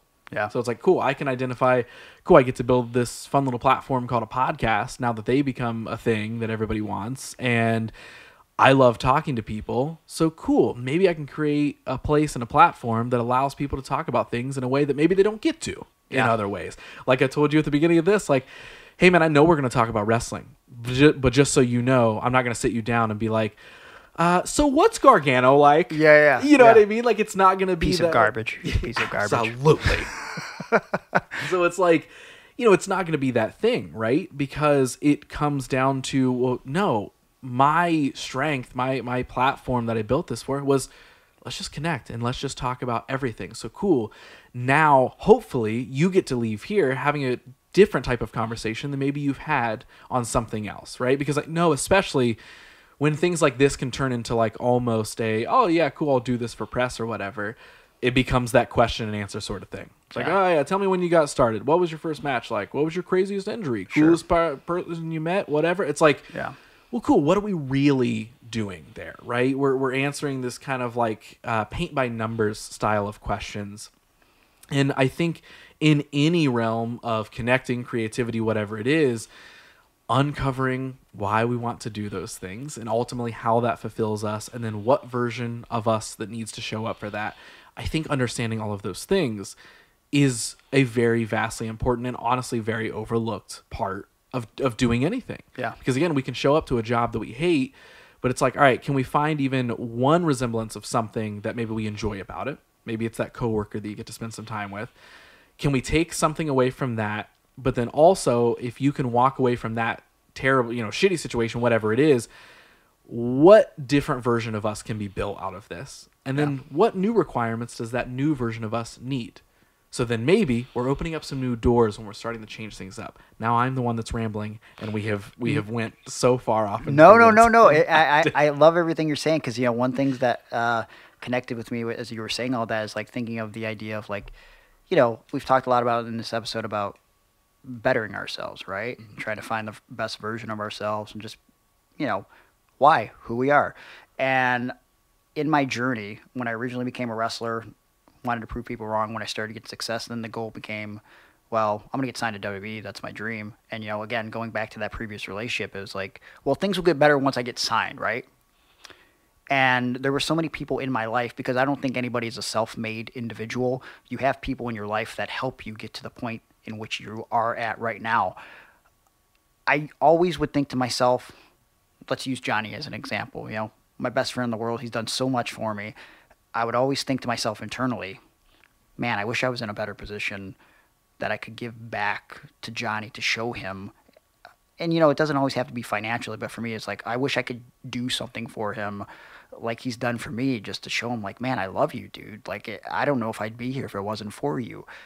That'll happen when I get that WWE contract, you know, and then I'm I have all this money and blah blah blah. It's like, why wait until this dream that you might not get, right? In a lot of ways, listen, if I don't get signed somewhere, I'm 36 year old, years old at this point. I've come to terms with the idea that, dude, look at yourself in the mirror. You've done so many things in 17 years that um, J.J. Dillon once told me this in an email. I reached out to him because he had a son with cerebral palsy, and I was just looking at uh, looking for some insight, some advice. He was the manager of the Four Horsemen, worked with Ric Flair and Arn Anderson, all those guys. And he wrote me back. He critiqued the match and watched the promo. He said, "You know, I know your goal is WWE, but even if you never get to that goal, I want you to know that you have already lived a dream that most people only continue dreaming about. And I think about that a lot.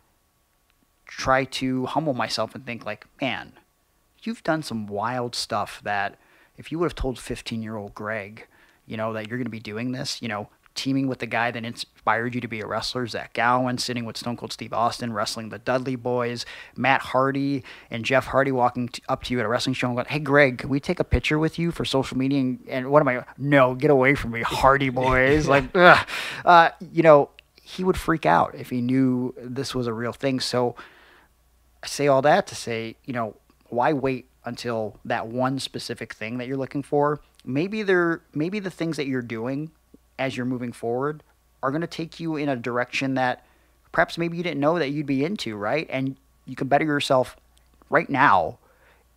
And I tell you, over the last six years, being able to give back to someone like Johnny that I consider family, doing stuff for his mom, who in a lot of ways became my mom, being able to do stuff for and with his son now, who is basically my nephew, Quill. Like, it's the coolest thing I've ever done, right? And it, it started with trying to be a better version of me, a more responsible version of me, but still holding on to those things that, you know, I grasped onto as a kid. Like I, I, I told him after the first time I went to Disney with him, because you know, Johnny's a big Disney guy. I'm a big Disney guy. We're giant kids. One of the first things that we bonded on as friends were through wrestling.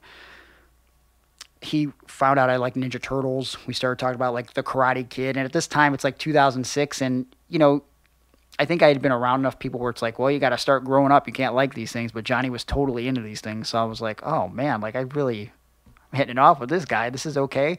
When I went to Disney, uh, I was walking through the park and I saw, you know, a dude dressed up as Launchpad from DuckTales.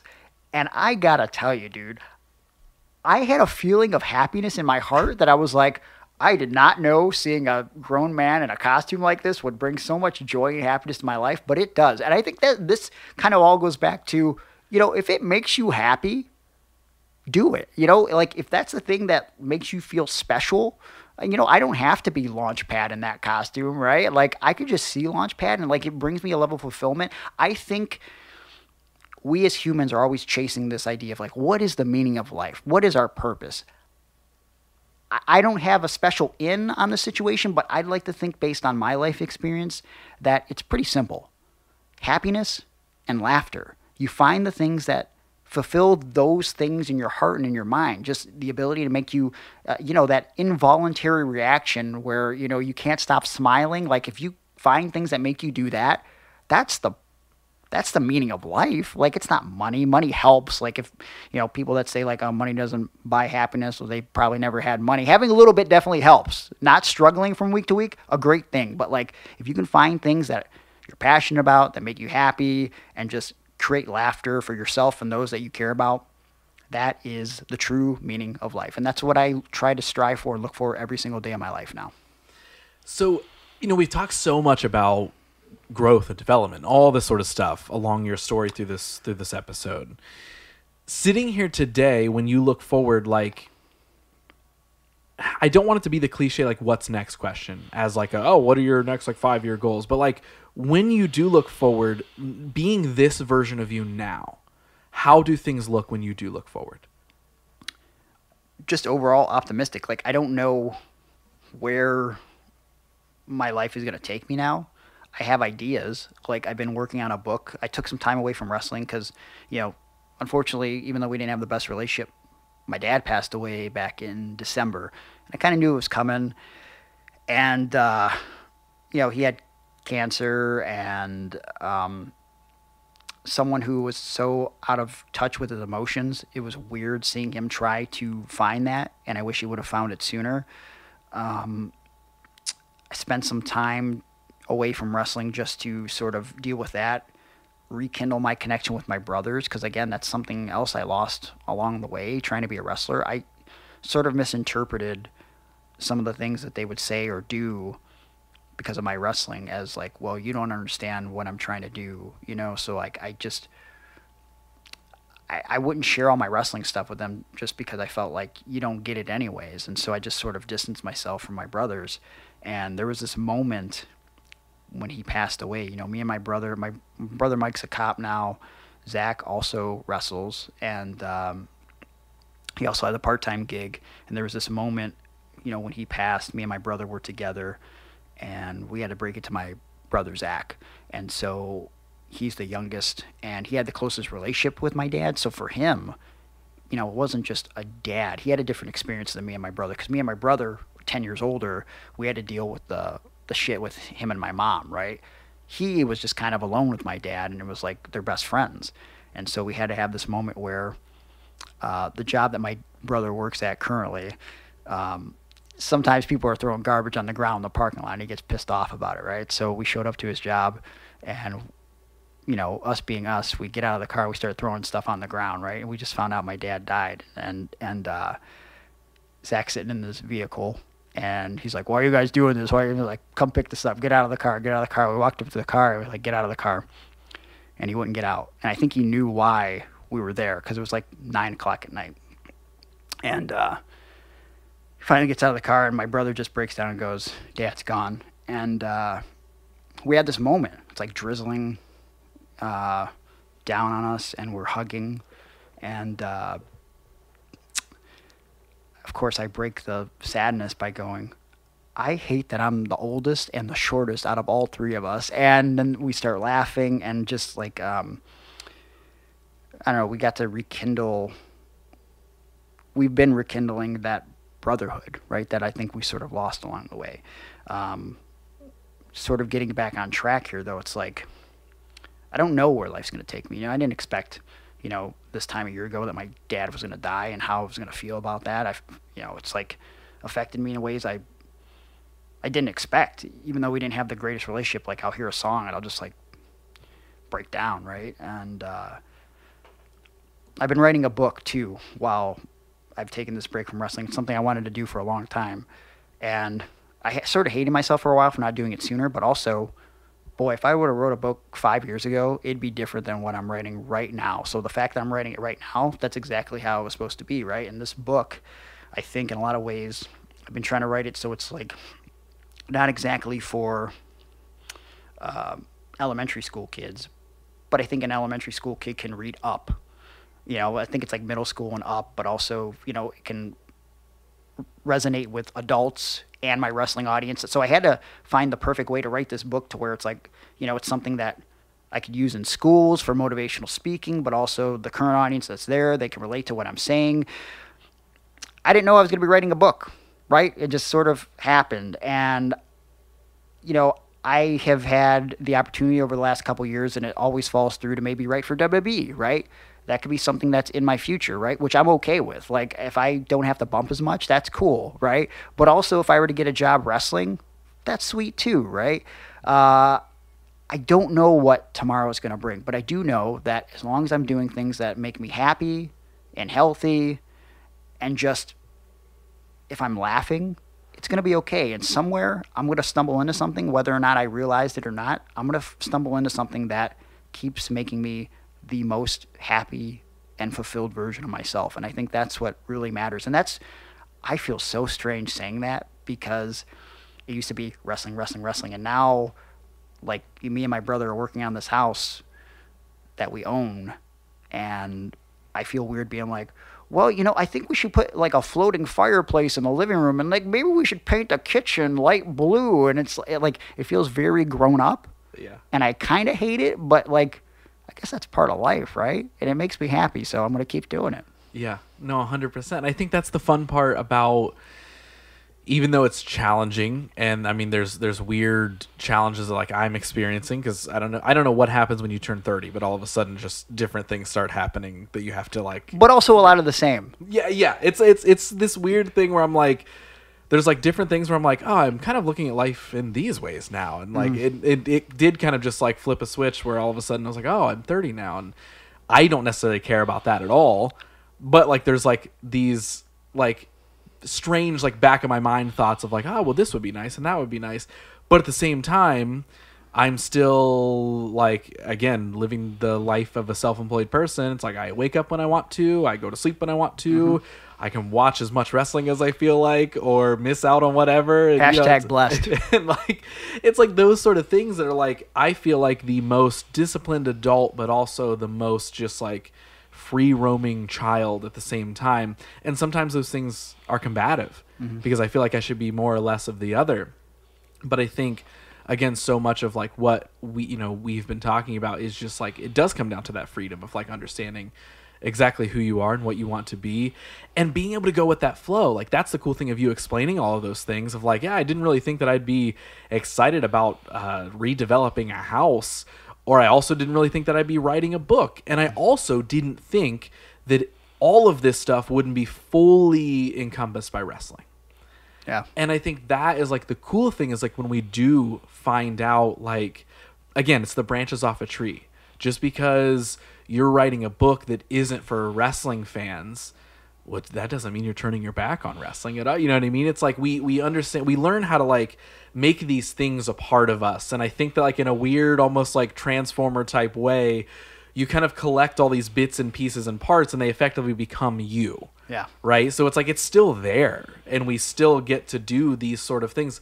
It goes back to like the different versions of ourselves. It's like it's not that we're putting on a mask; it's just that we're like tapping into a slightly different part of ourselves. And to make a wrestling analogy, uh, you know, a heel and a face, you know what I mean? It's like you can tap into both of those sides. Mm-hmm. You can understand, like, well, I wouldn't really do this, but I mean, the character is a bad guy. Mm-hmm. Sure would One hundred percent. and in the same way that like i might not be this most heroic person ever but for the reasons of my character being a face i need to stand up in this way and maybe say these things like Yeah. it's it's all of that sort of stuff of like that I think is like the turning of the dial, right? That is the finding the extension of yourself. And it's funny because like I also feel like we could make a whole other hour of this show talking about the uh, polarities and, and comparisons and parallels of just pro wrestling and, and real life in general and just like how all of it is so just like and and how I have personally used so much, not even just in the creative realm, but just like so much stuff from being a fan of pro wrestling and how that has shaped my real life Yeah. of how to engage in situations or how to manage a situation or even just one simple thing that a wrestler, you know, at the beginning of this when you know the whole like Hogan thing of eat your vitamins, say your prayer, you know, all that sort of stuff literally from a young age, uh, one of the things that I remember on a Hardy Boys uh, home video was they were all about dare to dream and exist to inspire. Those are two things, and like literally from that age, those things were ingrained into my brain. Half because I just thought the Hardy Boys were the coolest people ever. Sure. But also as I grew and reshaped and reformed as an adult, those things were still ingrained in my brain of like, well, what shape does that take now? Then it was, oh, it's the Hardy Boys and I love them and they're awesome and that's a really cool saying and it must mean something cool. Yeah. As an adult, that takes a different shape. That takes a different form, right? Just like any of the any motto that anybody could have said in the wrestling world forever. It's like, oh yeah, it's this on the surface. Yeah, that's what they're saying. But what it's shaped into for me is this. Like I literally have a, a, a flag uh, hanging in the bathroom that says "Exist to Inspire." You know, it's Hell like yeah. it's like that has stuck with me uh, through anything and everything. Yeah. And I think again, like so, bringing it back, like that's the point, and that's like the the coolest thing to hear you say all these things is we are like the collections of all of our experiences. We are the collections of all of our ideas and our relationships and all this sort of stuff. And it's super easy to overlook that in the moment. It's super easy to be like, well, cool, that's a great saying, but right now I'm struggling to pay my bills, or right now I'm not fulfilled, or right now I'm not happy, or whatever. And it's like, I think that is like so much of the importance that I feel like we've we've talked about so much in this episode is always remembering to how does this come back to who I really am? Yeah. How does this connect to who I am at my core? Does this fulfill me in some certain way? Maybe it's a little bit, maybe it's a lot. But when we can find out how these things are extensions of who we really are, that I think is the most important part. Yeah. Whether it is looking at wrestling or movies or a motto that someone said at some point. And so it's like I always get excited when I hear somebody talking about these things where it's not just like, hey, I niched down super hard, I was this thing. And of course, we're going to have moments of that where, yes, you're going to focus on that being your sole thing. But when you can sit and you're like, yeah, I want to write a book and I want to redevelop a house and I'm building new relationships and better relationships and there, I'm sure there's going to be other things that are going to pop up. And it's it's it's figuring out where that new bar is, where that new standard is, but more so being open for those experiences that those things are going to bring, thus knowing that's going to shape us in some new way Yeah. even if it's the worst of experiences. And trust me, there are things that like I have experienced that I'm actively dealing with right now that I'm like, I sure wish I didn't have to deal with this. I sure wish I didn't have to feel this thing at all. But the only thing I'm trying to tap into is that callous confidence in the back of my mind of we've been through it before, we've experienced these things before. You are ready and equipped to deal with this, even if it hurts really bad. And at some point, you'll get to look at this experience, and it's going to be a new piece that is added to you of now something new that you know that you can carry into the future things. Yeah, yeah. I think you know the most important thing you learn as a wrestler is how to fall, right? And obviously that's a physical thing. You enter the school, you have to know how to fall on your upper back and brace the whole blow by extending your arms and taking as much as you can on the top of your back. You learn to fall, and then when you, especially when you're a heel wrestler, a bad guy, you have to learn how to do a bump and feed. So it's you know you bump and you have to get up as quick as can as you can. So you take another clothesline or a back elbow or whatever. Learning to fall, I think figuratively, is the best thing we can do as humans. Using this wrestling analogy because things are good right now. We're enjoying this conversation. It's a great podcast. I'm overjoyed that we got to do this finally. At some point, I'm gonna fall. Right, right now I'm on the comeback. You know, I'm rocking and reeling. I, I got the crowd on their feet. But at some point, someone's gonna cut me off. I'm gonna have to take a bump. Right, but I've got to be able to feed back up as quickly as possible and just keep going. And that doesn't mean it doesn't hurt. I might have taken. Uh, I might not have fell as, as as comfortably as I would have liked to. Right, maybe it hurts a little bit more than usual. But I gotta fall and get back up, and fall and get back up because that's what we gotta do. We can't let it keep us down for too long because like it doesn't matter how good things are going, you are gonna fall again. But as long as you know that's gonna happen, you're gonna have your downs just as much as you're gonna have your ups. You're gonna be okay. You just gotta get through those bumps. Keep going. Bump and get back up. I have been waiting a very long time on this show for someone to use some wrestling analogies on this. And, and you know what? and we finally have gotten to this point. There it is. Last handful of questions for you. Yeah. And then we can wrap this up because I I do know 100% this could be like a 4-hour conversation. Yep. 100%. Um I know you have shared versions of this already. But if we were to kind of all encompass the thought or feeling, when you look back at your entire journey, and whether it deals with wrestling or just like life in general, what do you feel like the biggest lesson that you've learned has been from any of that? just to give back, you know, to share the things that you've gone through, you know, who you are, because again, you don't know how sharing that information will impact someone else. You know, like I became a wrestler, whether it was, it was probably more subconscious than anything else because of the way these wrestlers made me feel in times when I felt my weakest, when I was going through my worst, right?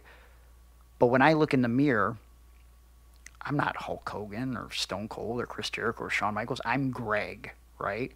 I'm just me. I'm just a dude when I look in the mirror.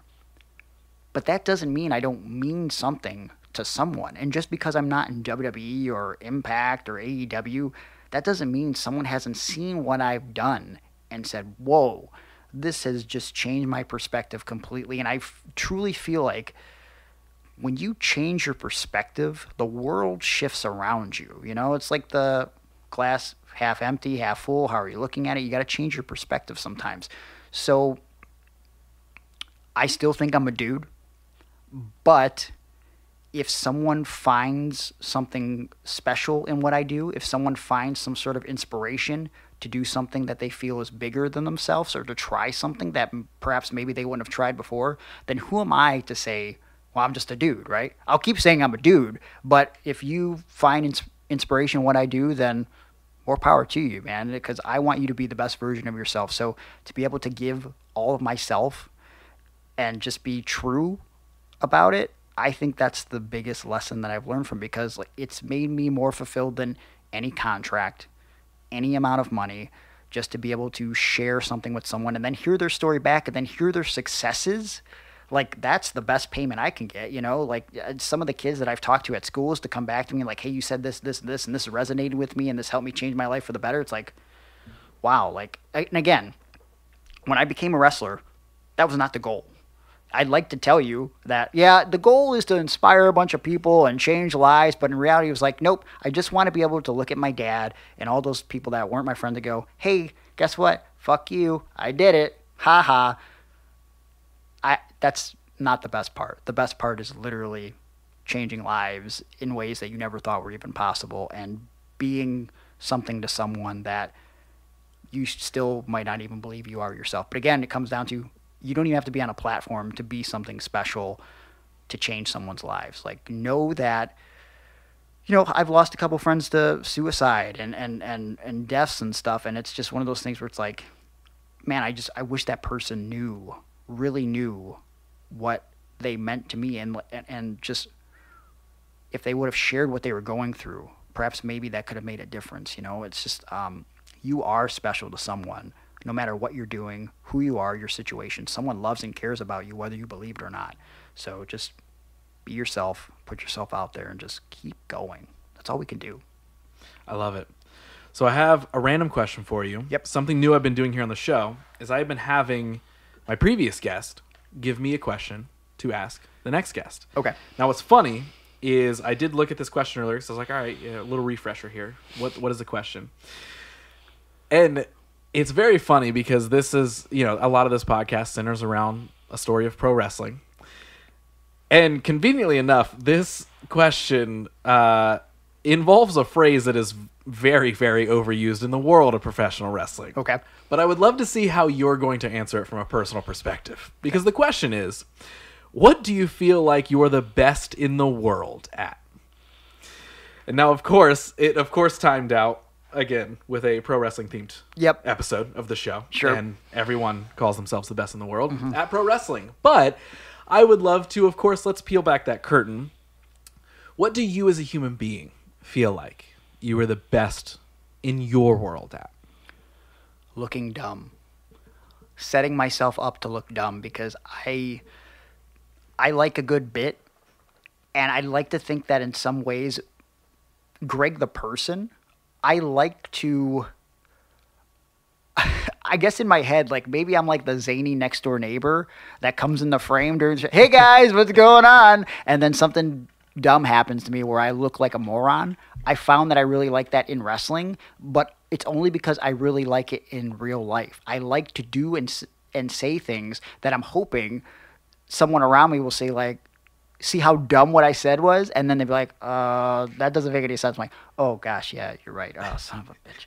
And so like I, I think that's probably what I think I'm the best at, yeah. at, at least with the people that are in my life currently. So yeah, if it makes someone smile and I could just look like a jackass, uh, that's really what I'm all about. And just, uh, and you know what? If no one else smiles and I just laugh at it myself, that's okay too. Because yeah. sometimes I could be my own biggest fan. I love it. The mm-hmm. humility part. Yeah. yeah. No, I absolutely love that. Yep. Um, I will. Does anything come to mind that you want to ask my next guest that you want to leave me with? If not, after we record and it comes to mind, we can jot it down. But does something pop up right now? Um, When's the first time you kissed another human being? The first, their first kiss. Yeah, Love yeah, it. yeah. Because uh, I didn't, I didn't kiss a girl till I was 18, Interesting. and that's Okay. because you know the, I could have happened like maybe 14 or 15. There was a girl across the street from me, uh, Jonna Hearn. Shout out to Jonna if she's watching, and uh, I'm pretty sure she would have kissed me on the lips. And I remember her going, uh, specifically saying like, "Oh, you want to hang out sometime?" And I'm thinking to myself, "Yeah, I want to hang out sometime." Like I'm trying to figure out this whole kissing a girl thing. And so uh, I'm like, "Yeah, sure." And she's like, "Okay, well, what are you doing Monday? Monday night?" And I'm like, "I do something with my family on Mondays. I can't. I'm I really can't busy Monday can't nights." hang out." And she's like, "Oh, well, that's unfortunate. Well, you know, are you free on like a Thursday night?" And I'm like, "God damn it." Uh, Mondays no, nine to eleven, Thursdays eight to ten. I'm pretty busy. uh, my family just really likes to bond with me in the evenings on Monday and Thursday specifically. so uh, I didn't end up kissing a girl till I was 18. So Amazing. I will also say that I think there was a lot of things that I missed out on as well, Mm-hmm. uh, because either Thursday or for a while at some point Friday nights became the, and of course Friday nights when you're getting older. Yeah. everyone's like, "What are we doing on Friday?" And I'm like, "I'm so busy. I Uh-huh. gotta see what Batista's doing." yes, yes. But you know, you know what? I, I'll, I'll end it with this though. I'm weird, okay, but you know, perhaps maybe I didn't get to kiss a girl because of my weirdness to have to watch every single episode of Raw and SmackDown every week. But I think as an adult now, the things that made me weird also made me successful.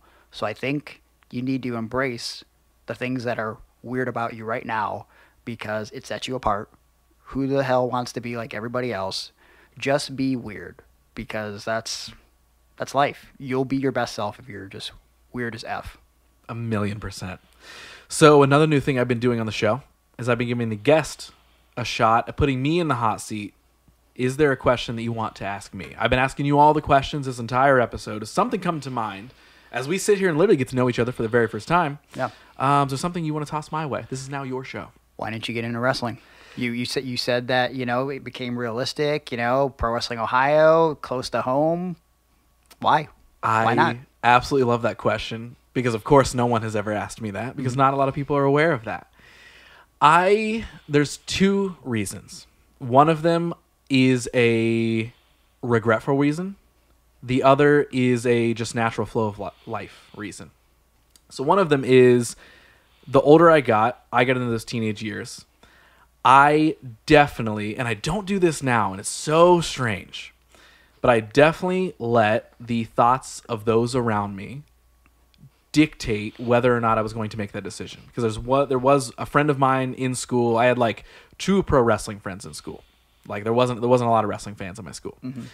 Um, but those two, one was like just a casual watcher, but really liked it. The other was our plan when we turned 18 was to go to OVW. Okay. That was our plan Yeah.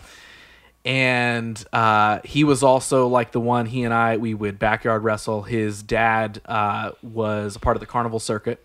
He had access and actually got us a pro wrestling ring, so we had a ring. Oh, wow. Um, we didn't. When I say backyard wrestling, I don't mean the like hardcore style, like that wild. Like we just had a ring in his backyard, and we took it like ultra seriously. So Okay. we would go. Ba- we would like do the classic like the Hardy Boy story, right? Like we would train ourselves. We Sure. would try and figure out like we would watch all the all the videos, all the movies, all that sort of stuff, and try to learn the right way of like, all right, well, how are they doing it? We would run ourselves through if we would see them anyone training on like how to bump, how to do all this sort of stuff, we would be like, all right, let's go train ourselves on how to somewhat properly do that Yeah.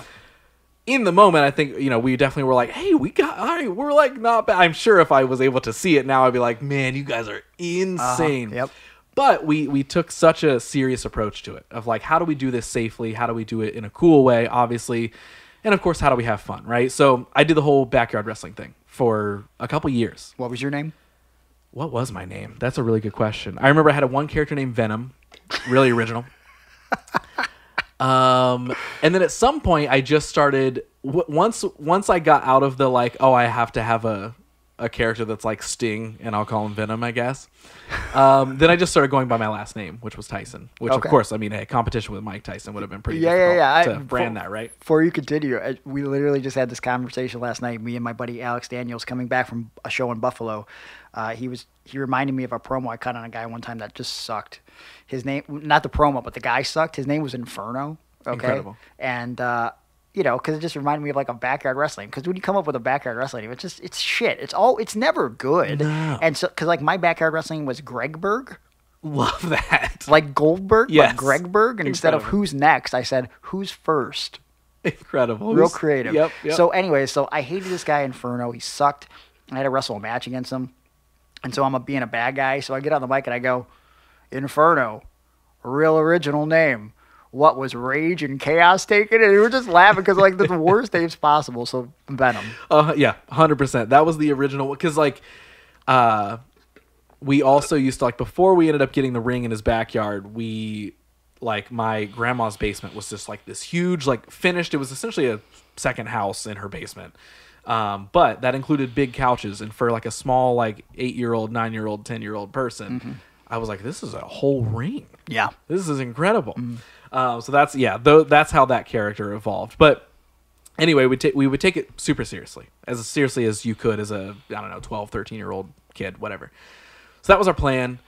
And then, like I said, two things happened. One, I like he and I grew apart, and the other friends that I like started becoming friends with it's not i'm not saying that they were like negative or anything like that and we didn't have conversations but they were like pro wrestling is stupid. It was just me growing up as a teenager i was like i still really like this thing but i don't know if i like want it in the same way right? I i want these other things. I finally kissed a girl. I'm hanging out with friends now. I'm you know doing all this sort of stuff.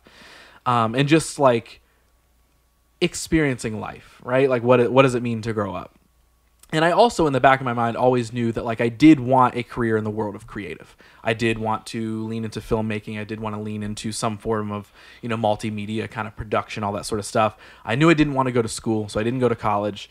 And so, what ended up taking over life for me was the music industry, because for a handful of years I worked pretty heavily in the music industry Okay.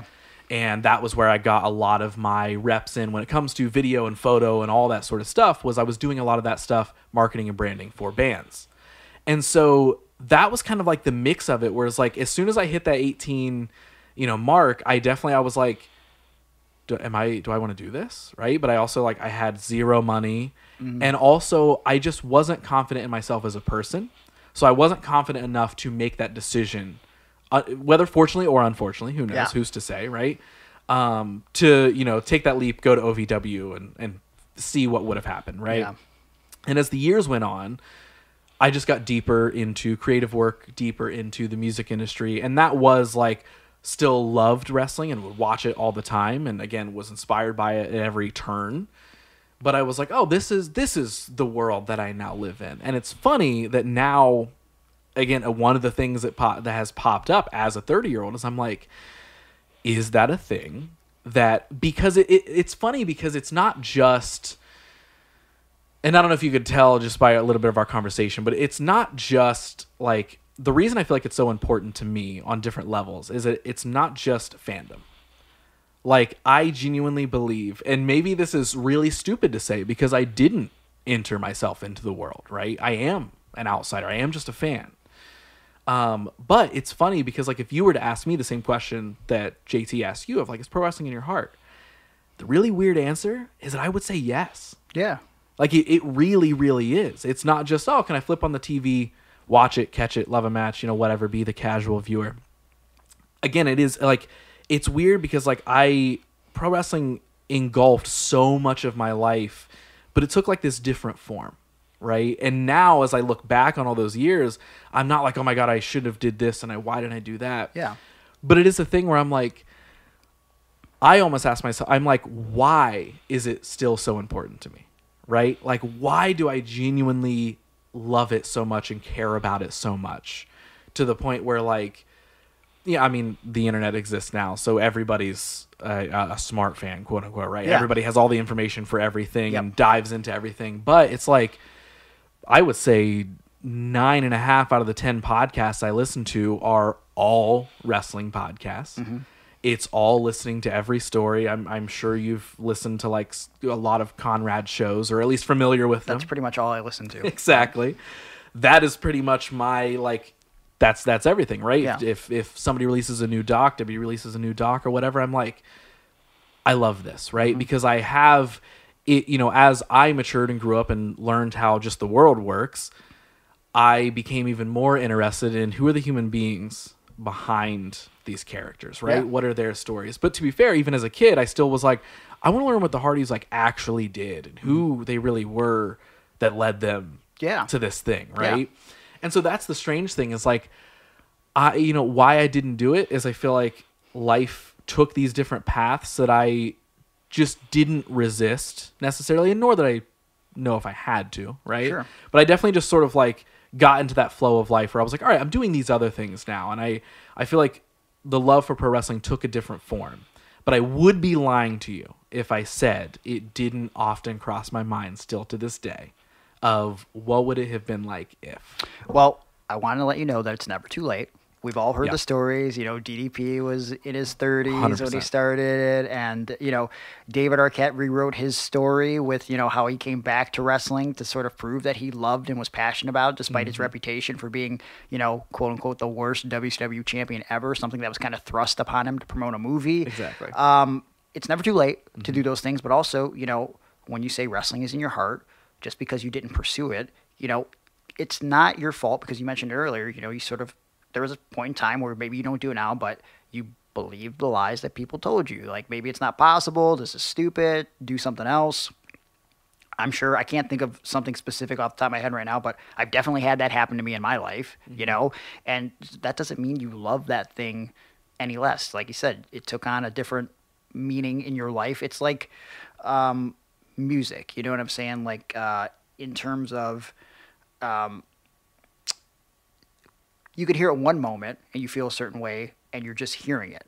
But then something happens in your life and now you hear that same thing and you're feeling it, right? Like it's it because of circumstances in your life and stuff and uh, just uh, it's never too late, right? Like you're you're on this journey and you love wrestling. You'll never stop loving wrestling. You just have to love it in a different way. And like, you know, I'll never stop loving wrestling and if I have to stop taking bumps at some point, I'm, it's never going to change my love of wrestling. It did so much for me that I didn't even realize. Like even, you know, you talked about, you know, a, a lot of artistic things that inspired you through wrestling. Like I think a lot of my vocabulary came from professional wrestling. Hearing, you know, announcers say like this man is bleeding profusely. You Yeah. know what I'm saying? And like like things like that, or like this is the culmination of everything. And so like I liked 100%. reading in general, but hearing these bigger three and four syllable words i'm like oh what does that mean? And like now they're like in my vocab in everyday life because i'm hearing jim ross and gorilla monsoon. I as a kid i literally thought the technical term for stomach was bread basket. So when i was playing with my action figures i'd be like oh hit him in the bread basket. That's the technical term you know so that's the medical term. yeah so i don't know man. Like it just just because you're not in wrestling doesn't mean you can't love it any less than someone that is. Yeah, yeah, no, and, and I appreciate hearing all that, and and you know even hearing you explain, you know, even if you begin to take less bumps, stop taking bumps, get out of the ring in general, whatever it is, that's another way that I've looked at like maybe, and and who knows what's going to happen, but I'm like. I'm very open to the possibility that like my possibly my work in the pro wrestling world has yet to happen because all of this other stuff that I've been collecting skill wise of being able to write stories, being able to really understand a lot of like how what production goes into things. I'm like, okay, maybe these like this new form of me that like has uh, that I've taken on maybe that's the thing. Maybe that's the thing that i get connected with pro wrestling with right? Because again as i've become an adult matured and you know done all of this stuff that i've done i have been looking like something that i would say is on my bucket list is i'm like i need something in my life that officially connects me with pro wrestling mm-hmm.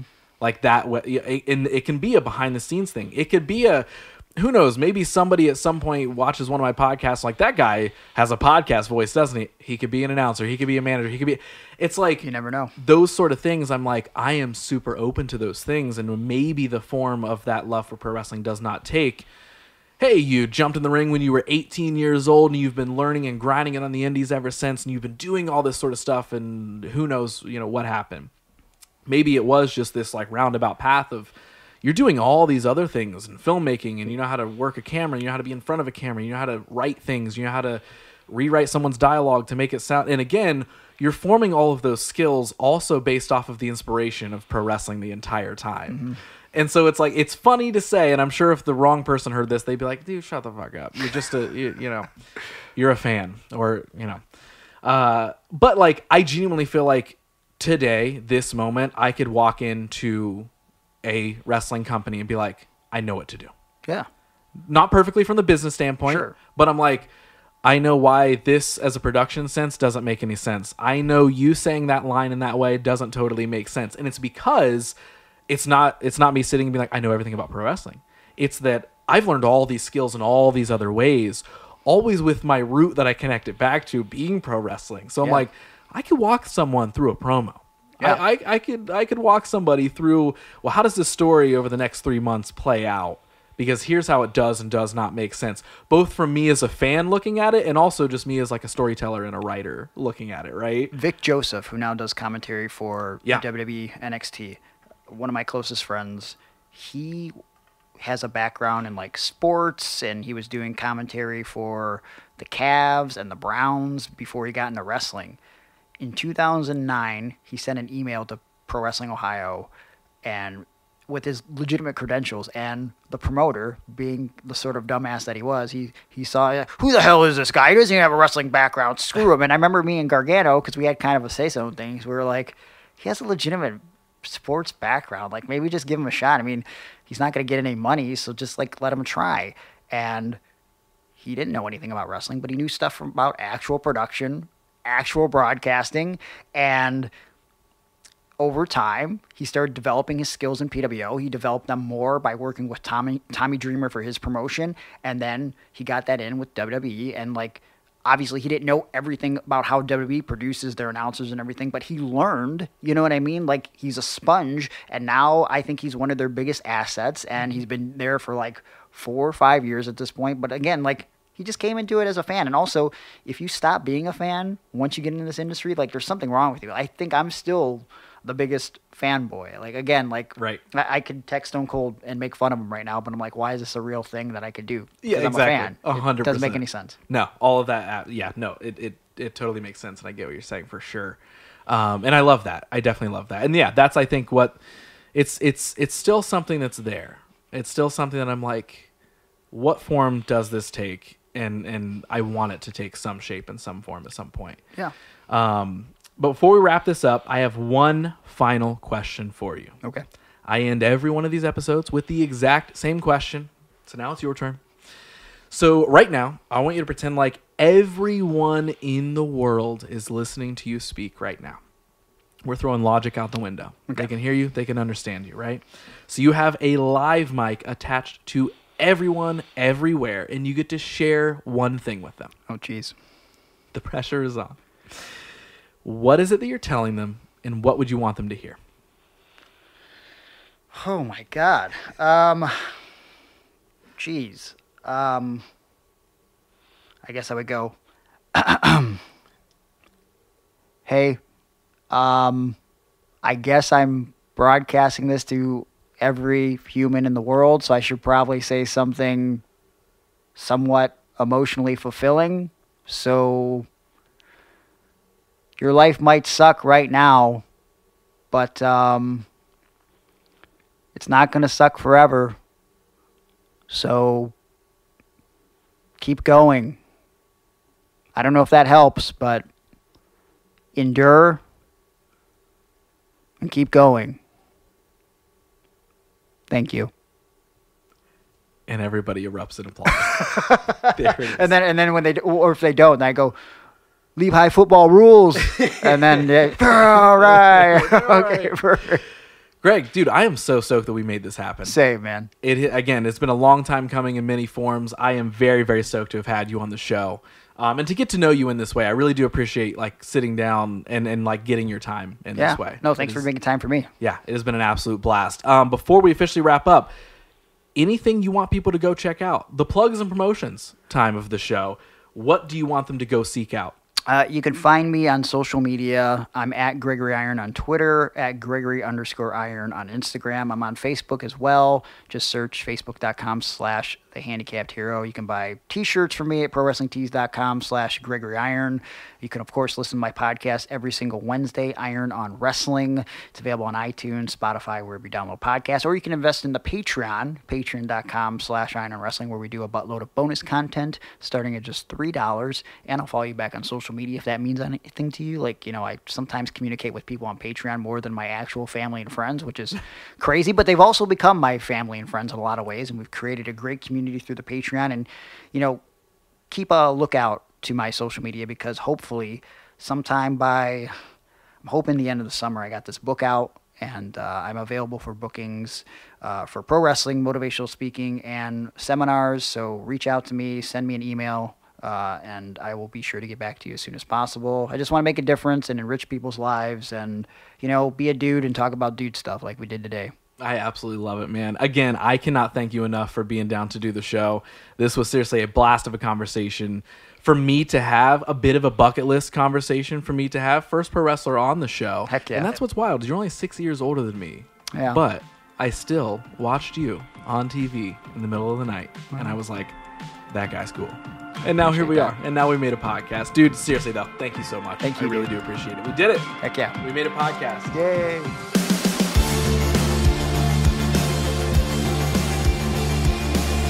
So I cannot thank Greg enough for being down to be on the show. Um, he traveled down from his hometown of Cleveland to venture around Columbus and to do my show. And seriously, it meant a lot to get to have this conversation. Um, it means a lot that I can call Greg a friend now, and that this conversation is forever etched in podcast stone. Uh, so if you want to see what Gregory Iron is all about, be sure to follow him at Gregory underscore Iron. If you want more podcasts to listen to and you are a wrestling fan, you should definitely go check out his podcast, Iron on Wrestling. It's available wherever you're listening to this show at right now, or you can follow it at Iron on Wrestling. Of course, be sure to double check and make sure that you're following this show at WYDH Pod. Please toss a follow if you haven't yet. You can also follow me personally. I am at Ross Theisen just about everywhere. That's Instagram, TikTok. I don't know, Twitter's barely alive, but I'm over there too. I also ask you to double check that you are subscribed on whatever platform that you check this out on, whether it's Spotify, whether it's Apple Podcasts, I don't know, one of those random podcast apps that I know exist, but I've never ever heard anyone ever tell me that they use. Uh, it's on there too, so check and find it. Uh, see if you're subscribed, wherever it is though. I appreciate your support uh, more than you know. Uh, so take a quick moment as well if you want. Toss a five star frog splash of a rating wherever you're listening to this at as well. Folks, all of this adds up. It truly helps. I know you hear it from every single creator, but I am no different. All of these things tell an algorithm that this show matters, and it really, really does add up. And of course, if you do want to watch these these uh, podcasts in video form, well, you can find those on my personal YouTube channel. That is youtube.com slash Ross Theisen.